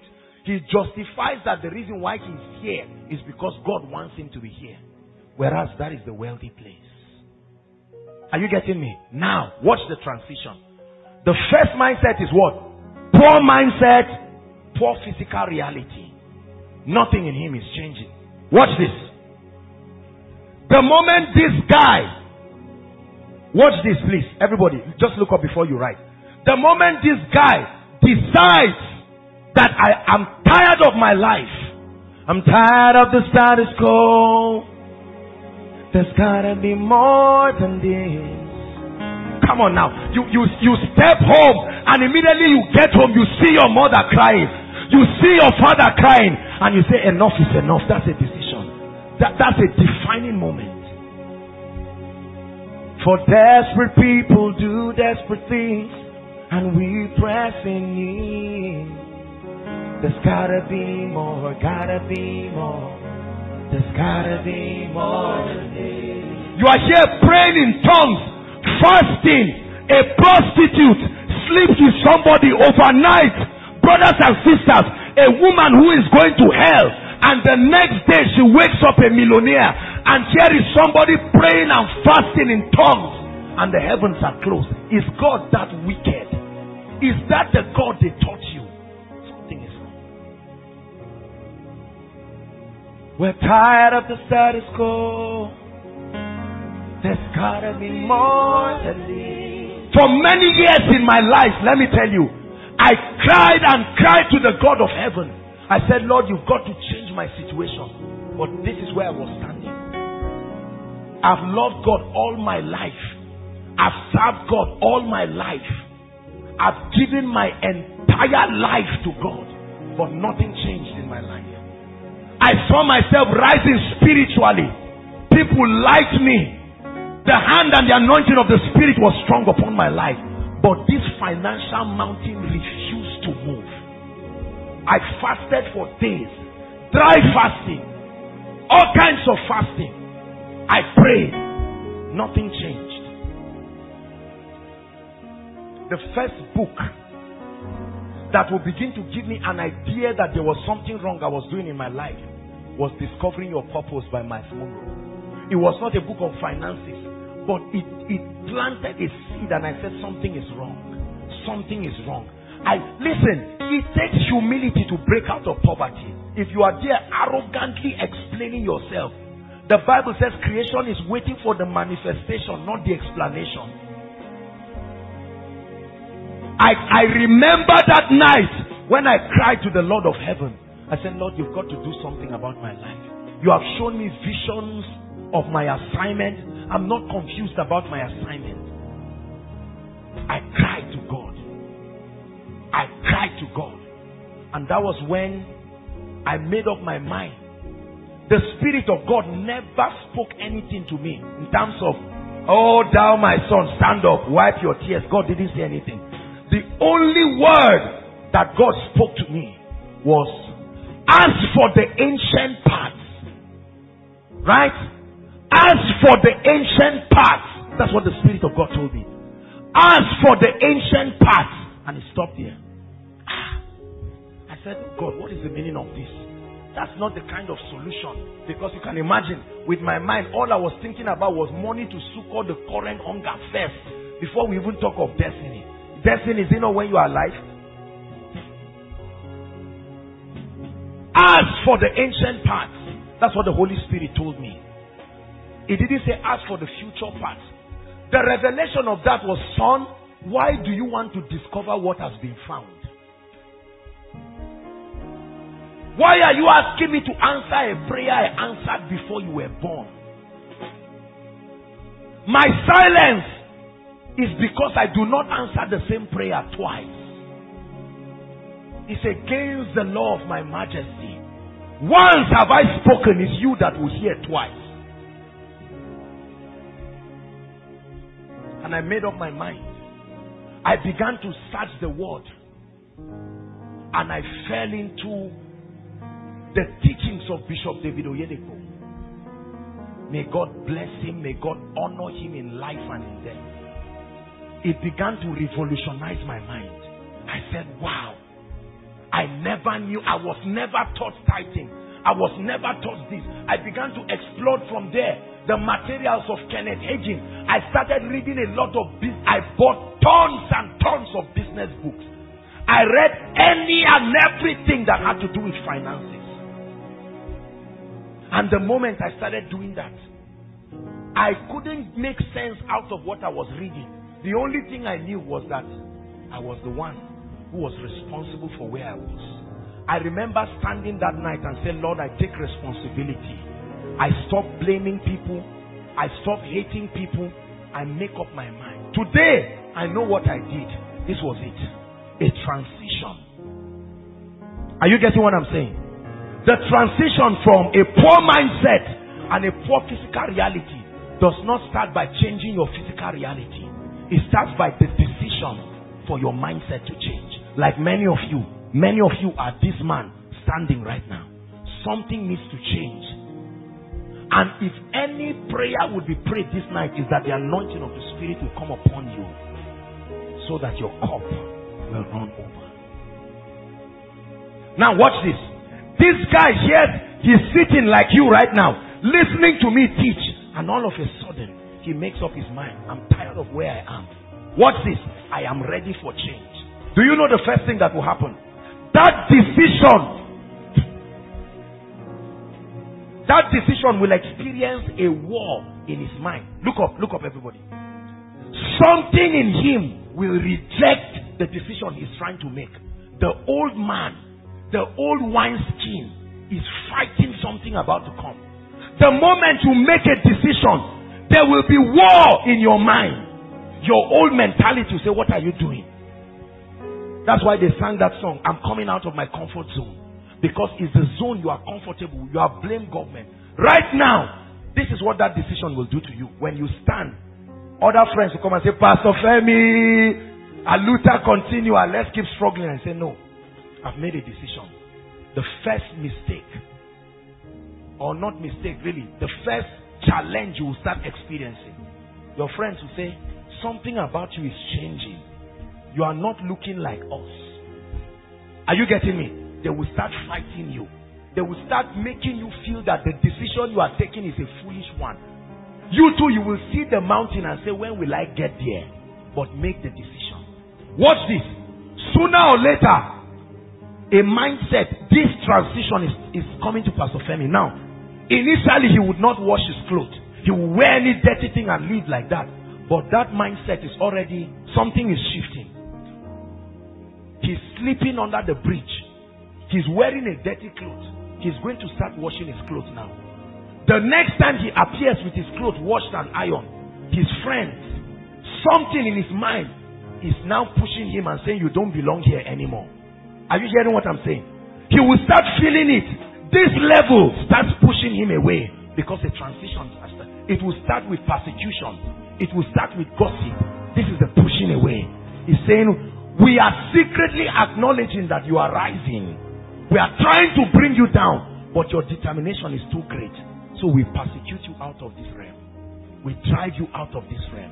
Everybody sings the song. You just write every song and you are thinking, let me go and wax an album.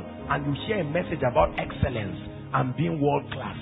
And you settle down and say, I'm packing up any project of album or anything. I'm not producing anything. I'm giving myself two years of intense rehearsal and training. All your friends say, Are we ready to go to the studio? Say, Sorry, I use the money to go and enroll in a music school. They will hate you. As you begin to learn about ad libbing, voice control, vocal discipline, what happens? A shift is happening. You are still here, but gradually something is moving you. The way you think. When they are gossiping, you are quiet. Very soon you find out that you can no longer connect with them. It's a sign that the plane has started lifting. The transition is happening. You are still poor, but something is changing. You are moving to this second person. This second person is a wealthy mentality, but a poor physical condition. Wealthy mentality.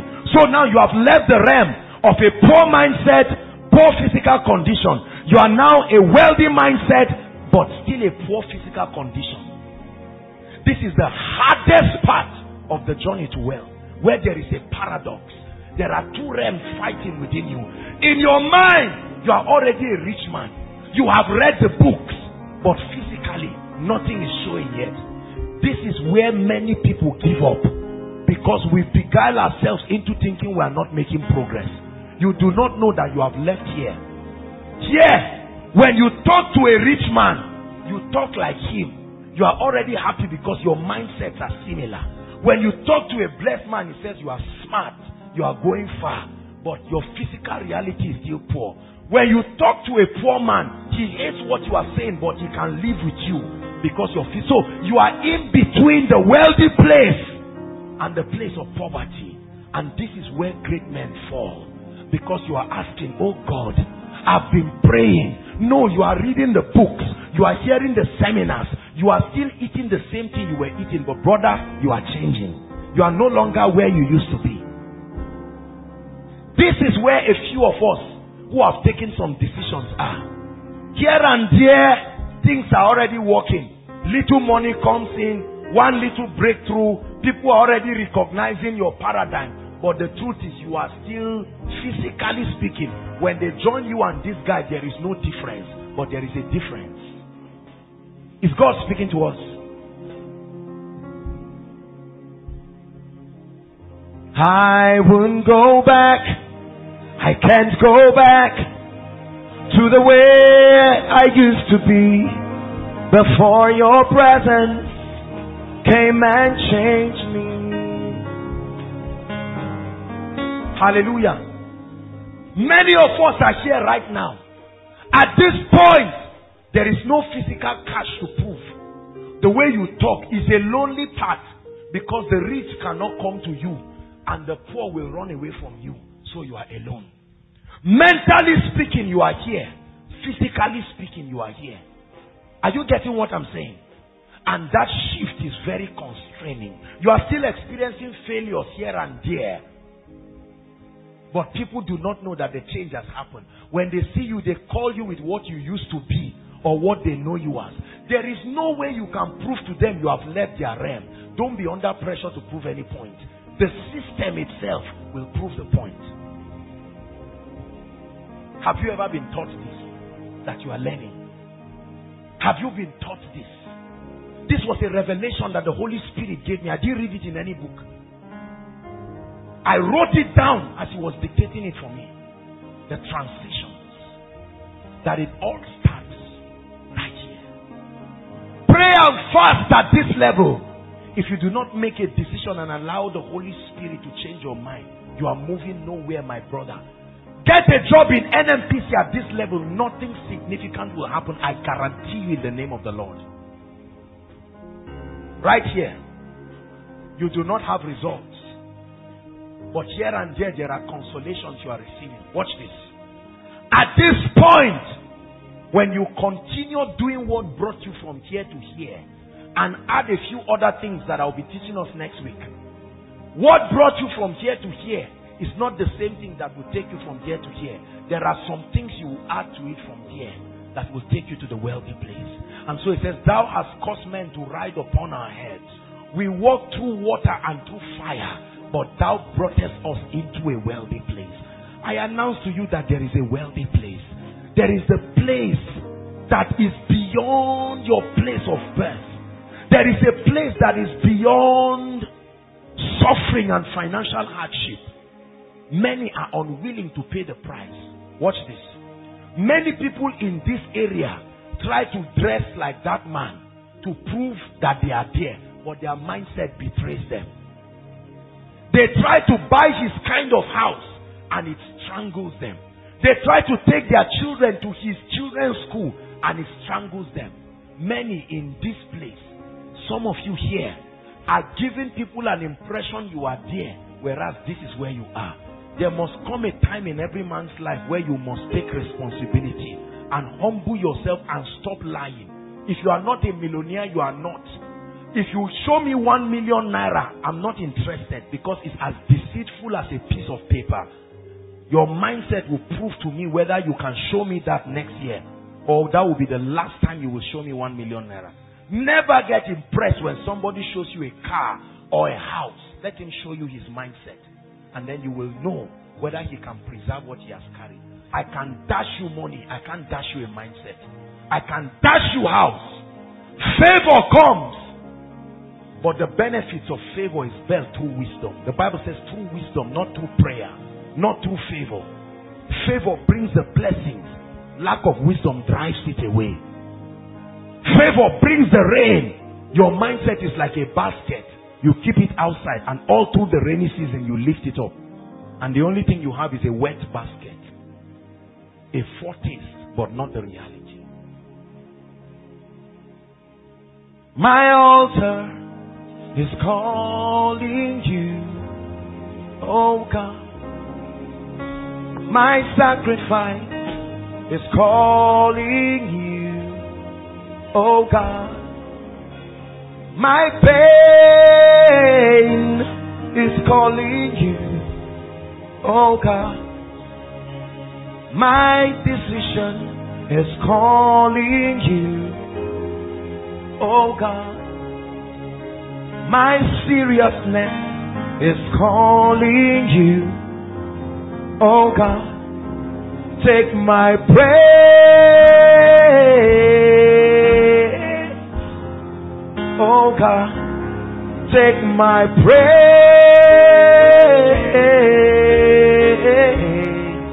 Oh God, take my praise. Take my praise. It's calling you. Take my praise. Take my praise. It's Calling you. I look at my life today and I am humbled. I was shedding tears this afternoon as I turned back to look at where God has brought me from. And I said, God, you are faithful. And God said, No, I'm not just faithful. You too, you are faithful. It was our faithfulness together. I know that sounds very religious. But it took my embracing his faithfulness to take advantage of it. I will never be poor again for the rest of my life till Jesus comes. It's not a confession. It's not something I'm trying to claim. I signed out honorably never to return to that realm again. No matter what happens to the economy of Nigeria, there's no returning again. You can make that decision it starts with a decision, not a wishing. Not saying, ah, it's better for some people. No. Never ever. There was a time in this ministry, Pastor Jake is here. The first time we were going for our crusade, brothers and sisters, believers came together and raised money. We did not have money to pay the hotel. The hotel where we would lodge. We saw all kinds of miracles on the crusade ground, but it did not change our financial status. Let me tell you, I was almost being locked in the prison because the sound people we could not pay them. How much? 150,000. I will never forget. I lay down in frustration. I remember one of my friends in frustration signed a check of 90,000 for me. I was so happy. I gave the sound people. They went to the bank and the check bounced. And they returned back in anger and they said, Look, we are coming to arrest you. I said, Lord, if they arrest me, it's for the gospel.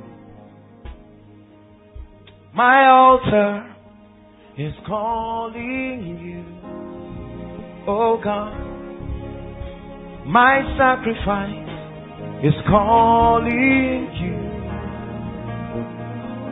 I was in community market, your core market. Your core market. I've eaten there. I know that I don't know how it is now, but I know that place very well.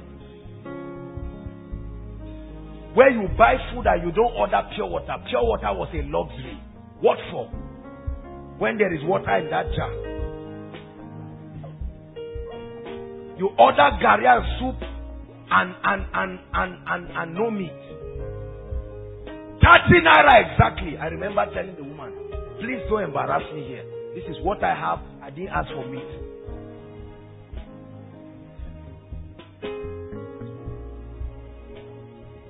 As you are laughing, I hope you are seeing the seriousness in what I'm communicating.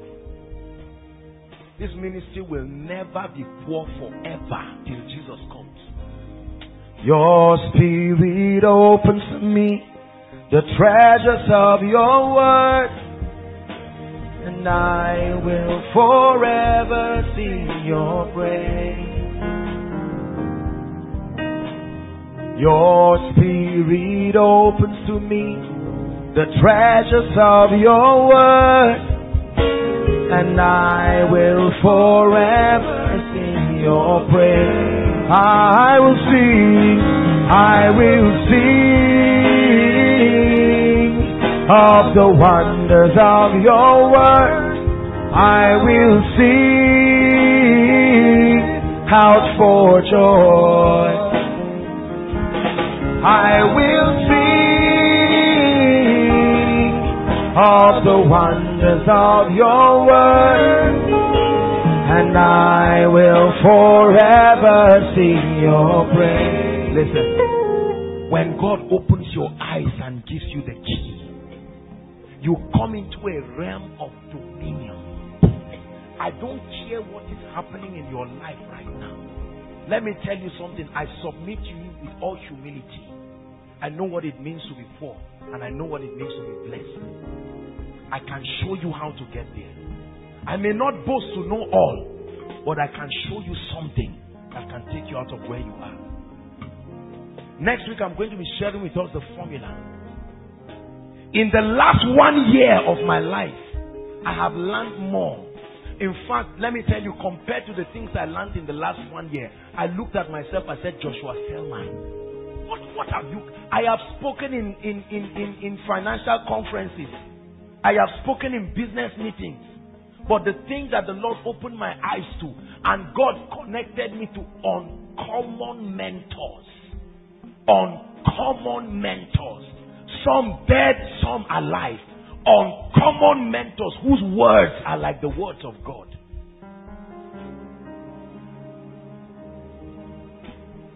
When you watch a master do something, the proof of mastery is ease. You will tear down the mysticism. Hallelujah. This is where many of us are. You are under pressure to do business because you think it will hurriedly take you to the wealthy place. Calm down. You notice we have not mentioned business. We have not even mentioned money many times. We're talking of mindset. There is a surgery God is doing. And right here, brothers and sisters, is your dream come true. Right here is mission accomplished. Right here is the realm where you do not think about money again. Right here is the realm where you can serve God with peace of mind. Right here, the name is the wealthy place. The place where few have come is a place of rest. You enter your financial Sabbath. Right here is the place where high blood pressure will not kill you again. Right here is the place where no matter the stress of your village people or you financially, it will be inconsequential. Right here is the place where you will serve God and fund your assignment and do that which God has called you to do in peace.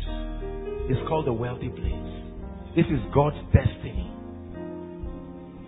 This is God's desire to transit you.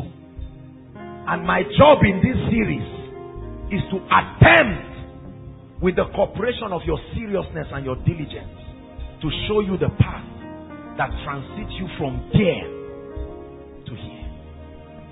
Because there is a wealthy place. There is no fear here. Because you did not get your wealth by crooks and pranks. Now you will understand the definition of my the, my definition of financial prosperity. Not just the ability to have abundance, but the ability to be able to replenish, to multiply, and to sustain its availability. At this point, you have the keys. Hallelujah.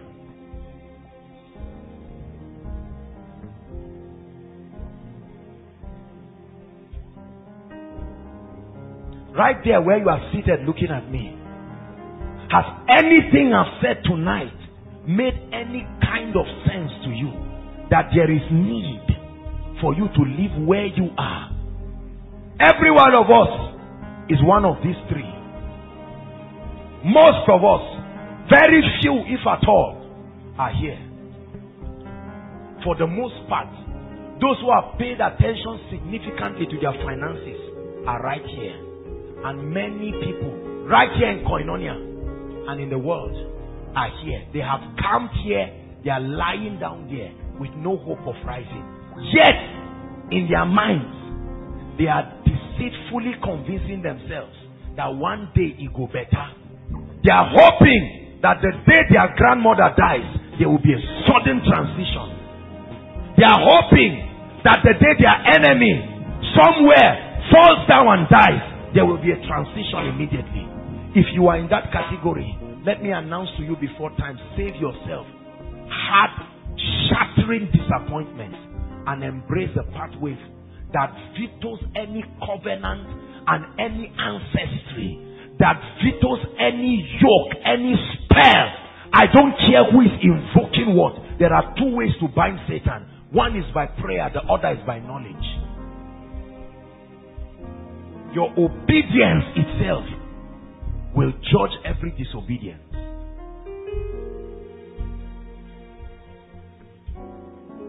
Write this down. The major difference between the poor and the rich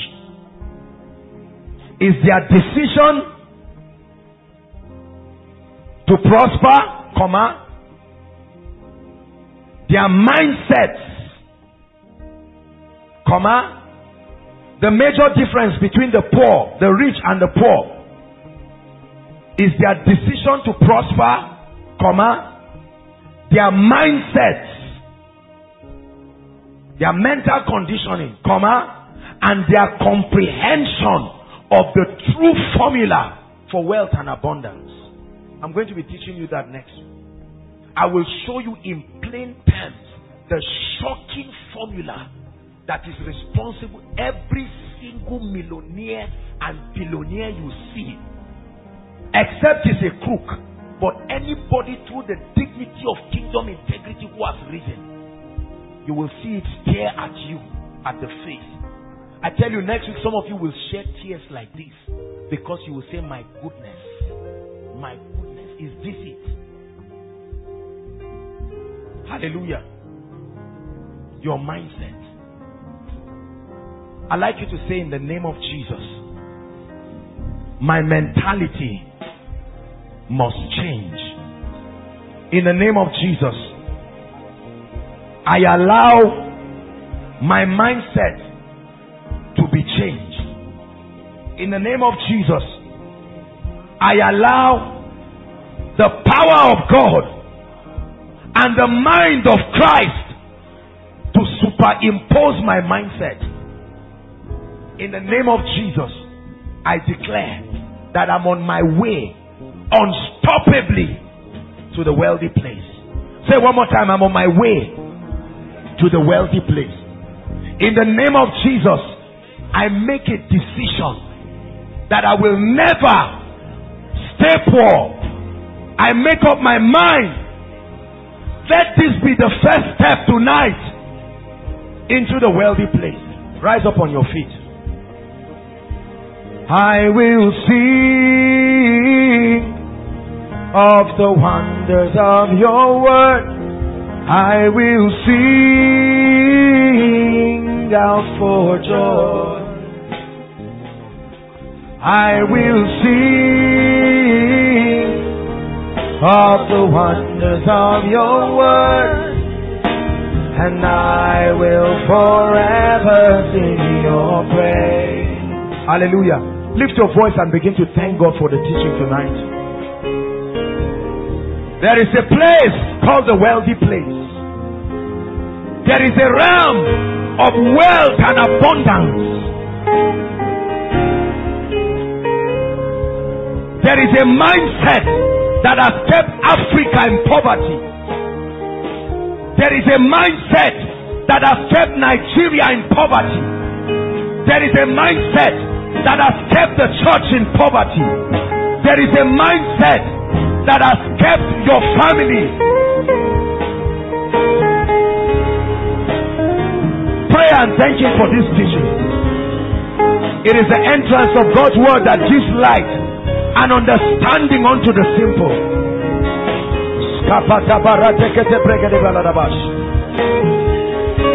Hallelujah. Hallelujah. Now we're going to take three prayer points very quickly. Prayer point number one. I'd like you to say, Lord, baptize me with an anointing that will make me serious about my finances. Lift your voice and pray. Kill every unseriousness.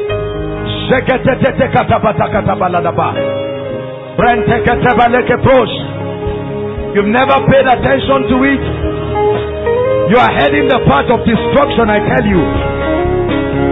You have just spiritualized it and left it there, you are headed for the path of disappointment.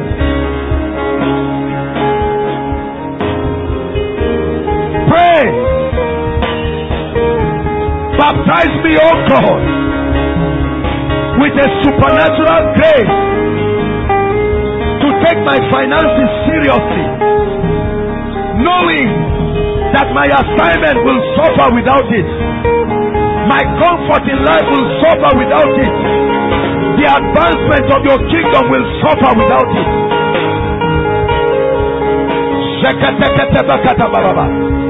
Ladies, are you praying? Don't say my husband will bail me out. Pray.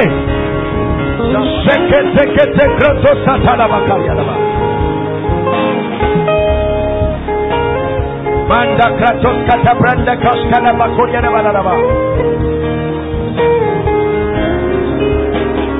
Hallelujah. Hallelujah.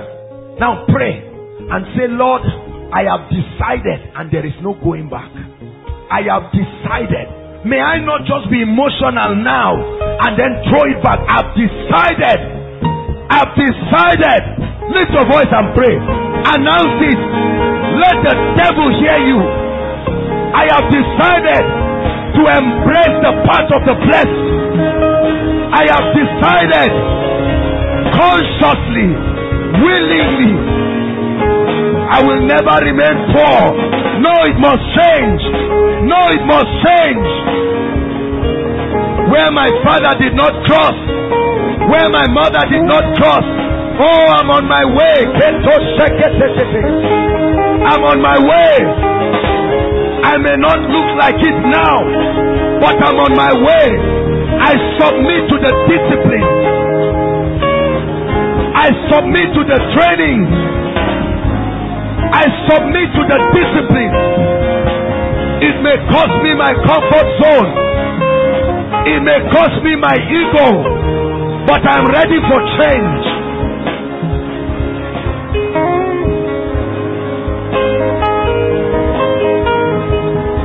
Pray. Pray. God will honor your prayer. It's a decision that will bless you. It's a decision that will determine the way the next phase of your life will be. You may not do anything about yesterday. Yesterday is gone. Yesterday is gone. Stop regretting the past. Stop regretting the failure. Stop regretting the disappointment. Stop regretting the lack. Make the decision now. Make the decision now. You may not know what to do. You may not know how to go about it. Just make the decision. Hallelujah. Hallelujah.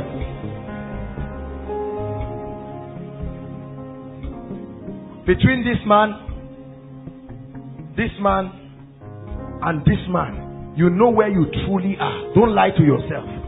Many of us are here. I'd like you to pray and say, Lord, the mental transition that must happen for me to leave this realm to this realm to this realm. I'm ready and I submit to it. Go ahead and pray.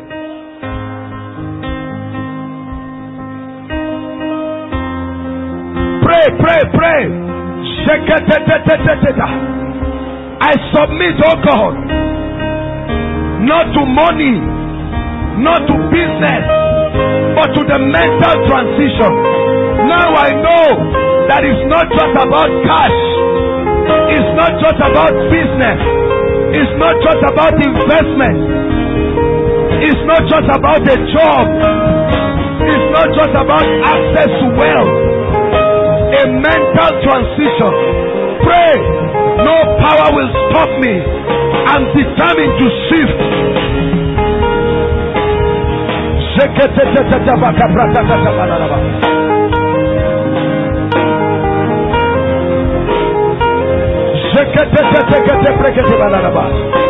Are you praying, Koinonia? Lord, I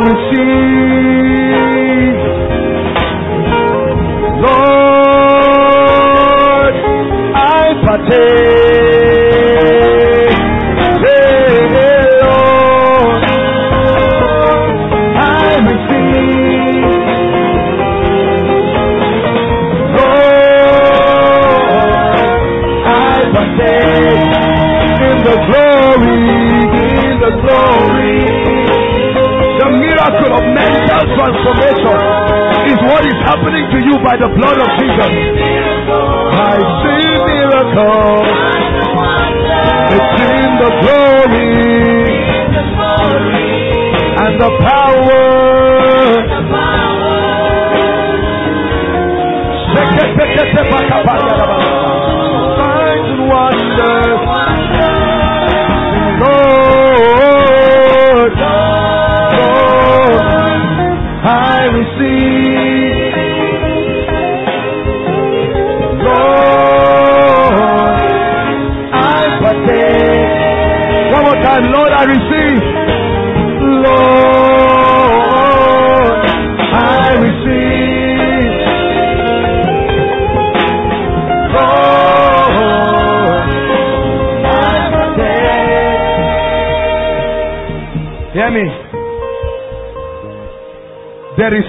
No favoritism with God.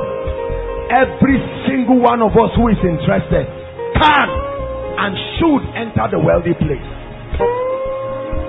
God is giving everyone an open check.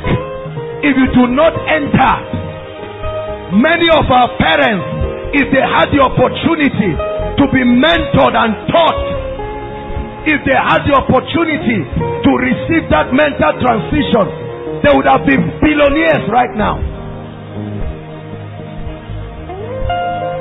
You have an opportunity many long for and never receive. Hallelujah. Hallelujah. pick up your notebook. I want to give you an assignment.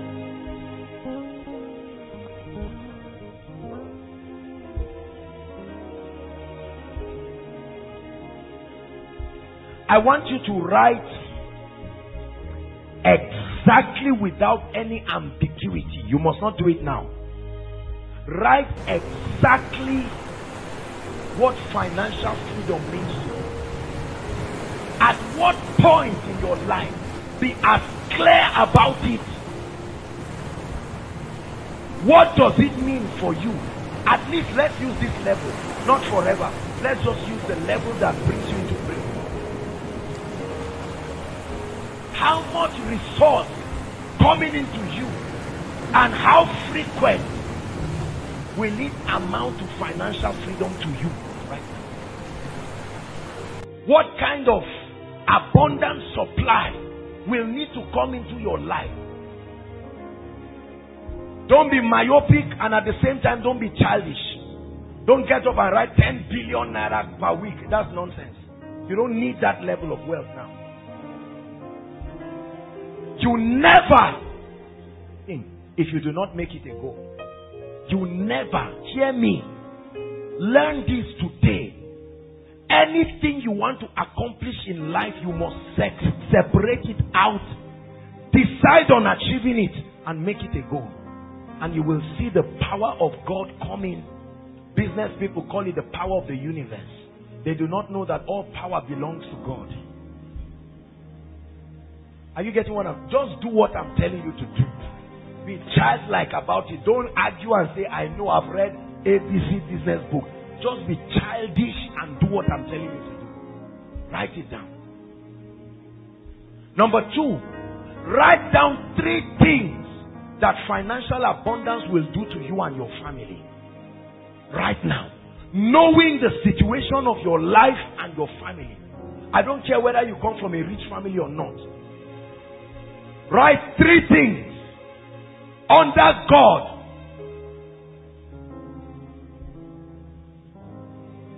I could give you a little expo. It will give you comfort. It will fund your assignment and it will fund the advancement of God's kingdom. Three things. That's the presence of finance. If you were seated here right now and you had access to cash relatively unlimited. Imagine all the things you have wanted to do for people. You are not that greedy.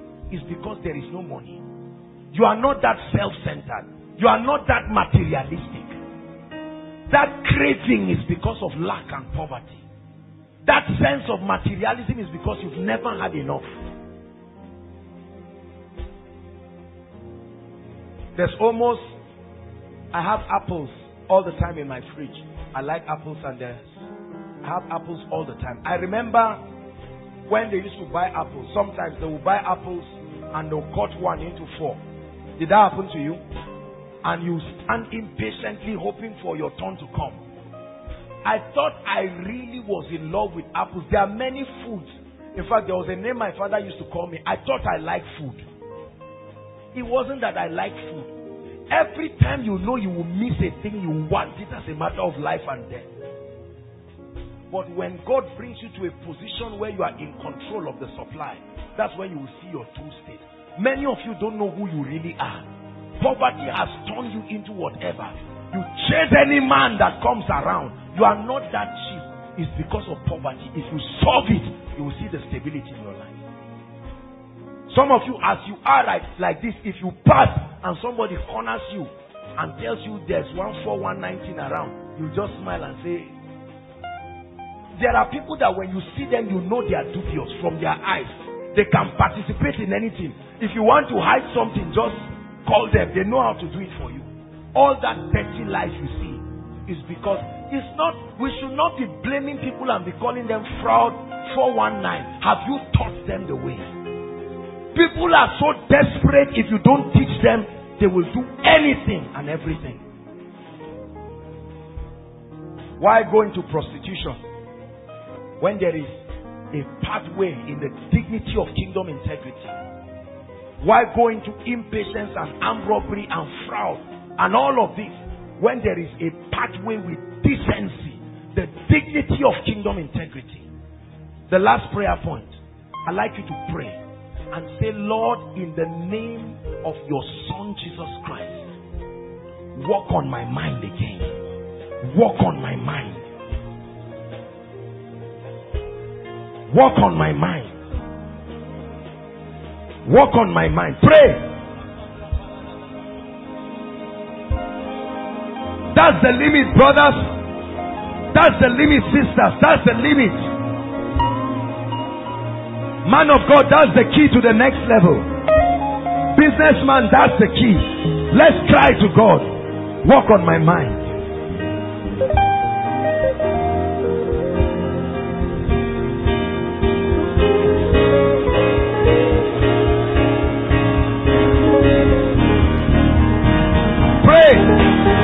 I'm going to be teaching us the components of a wealthy mindset.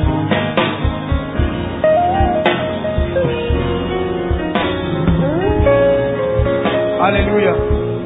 Hallelujah. Let's just still out one minute and pray. Can you passionately pray for your loved ones and, and, and say, Lord, I vow that if you show me this key, I will reveal it to my loved ones and the people. There are so many people that need to get out of this, go ahead and pray. Lord, I will extend a hand of mercy.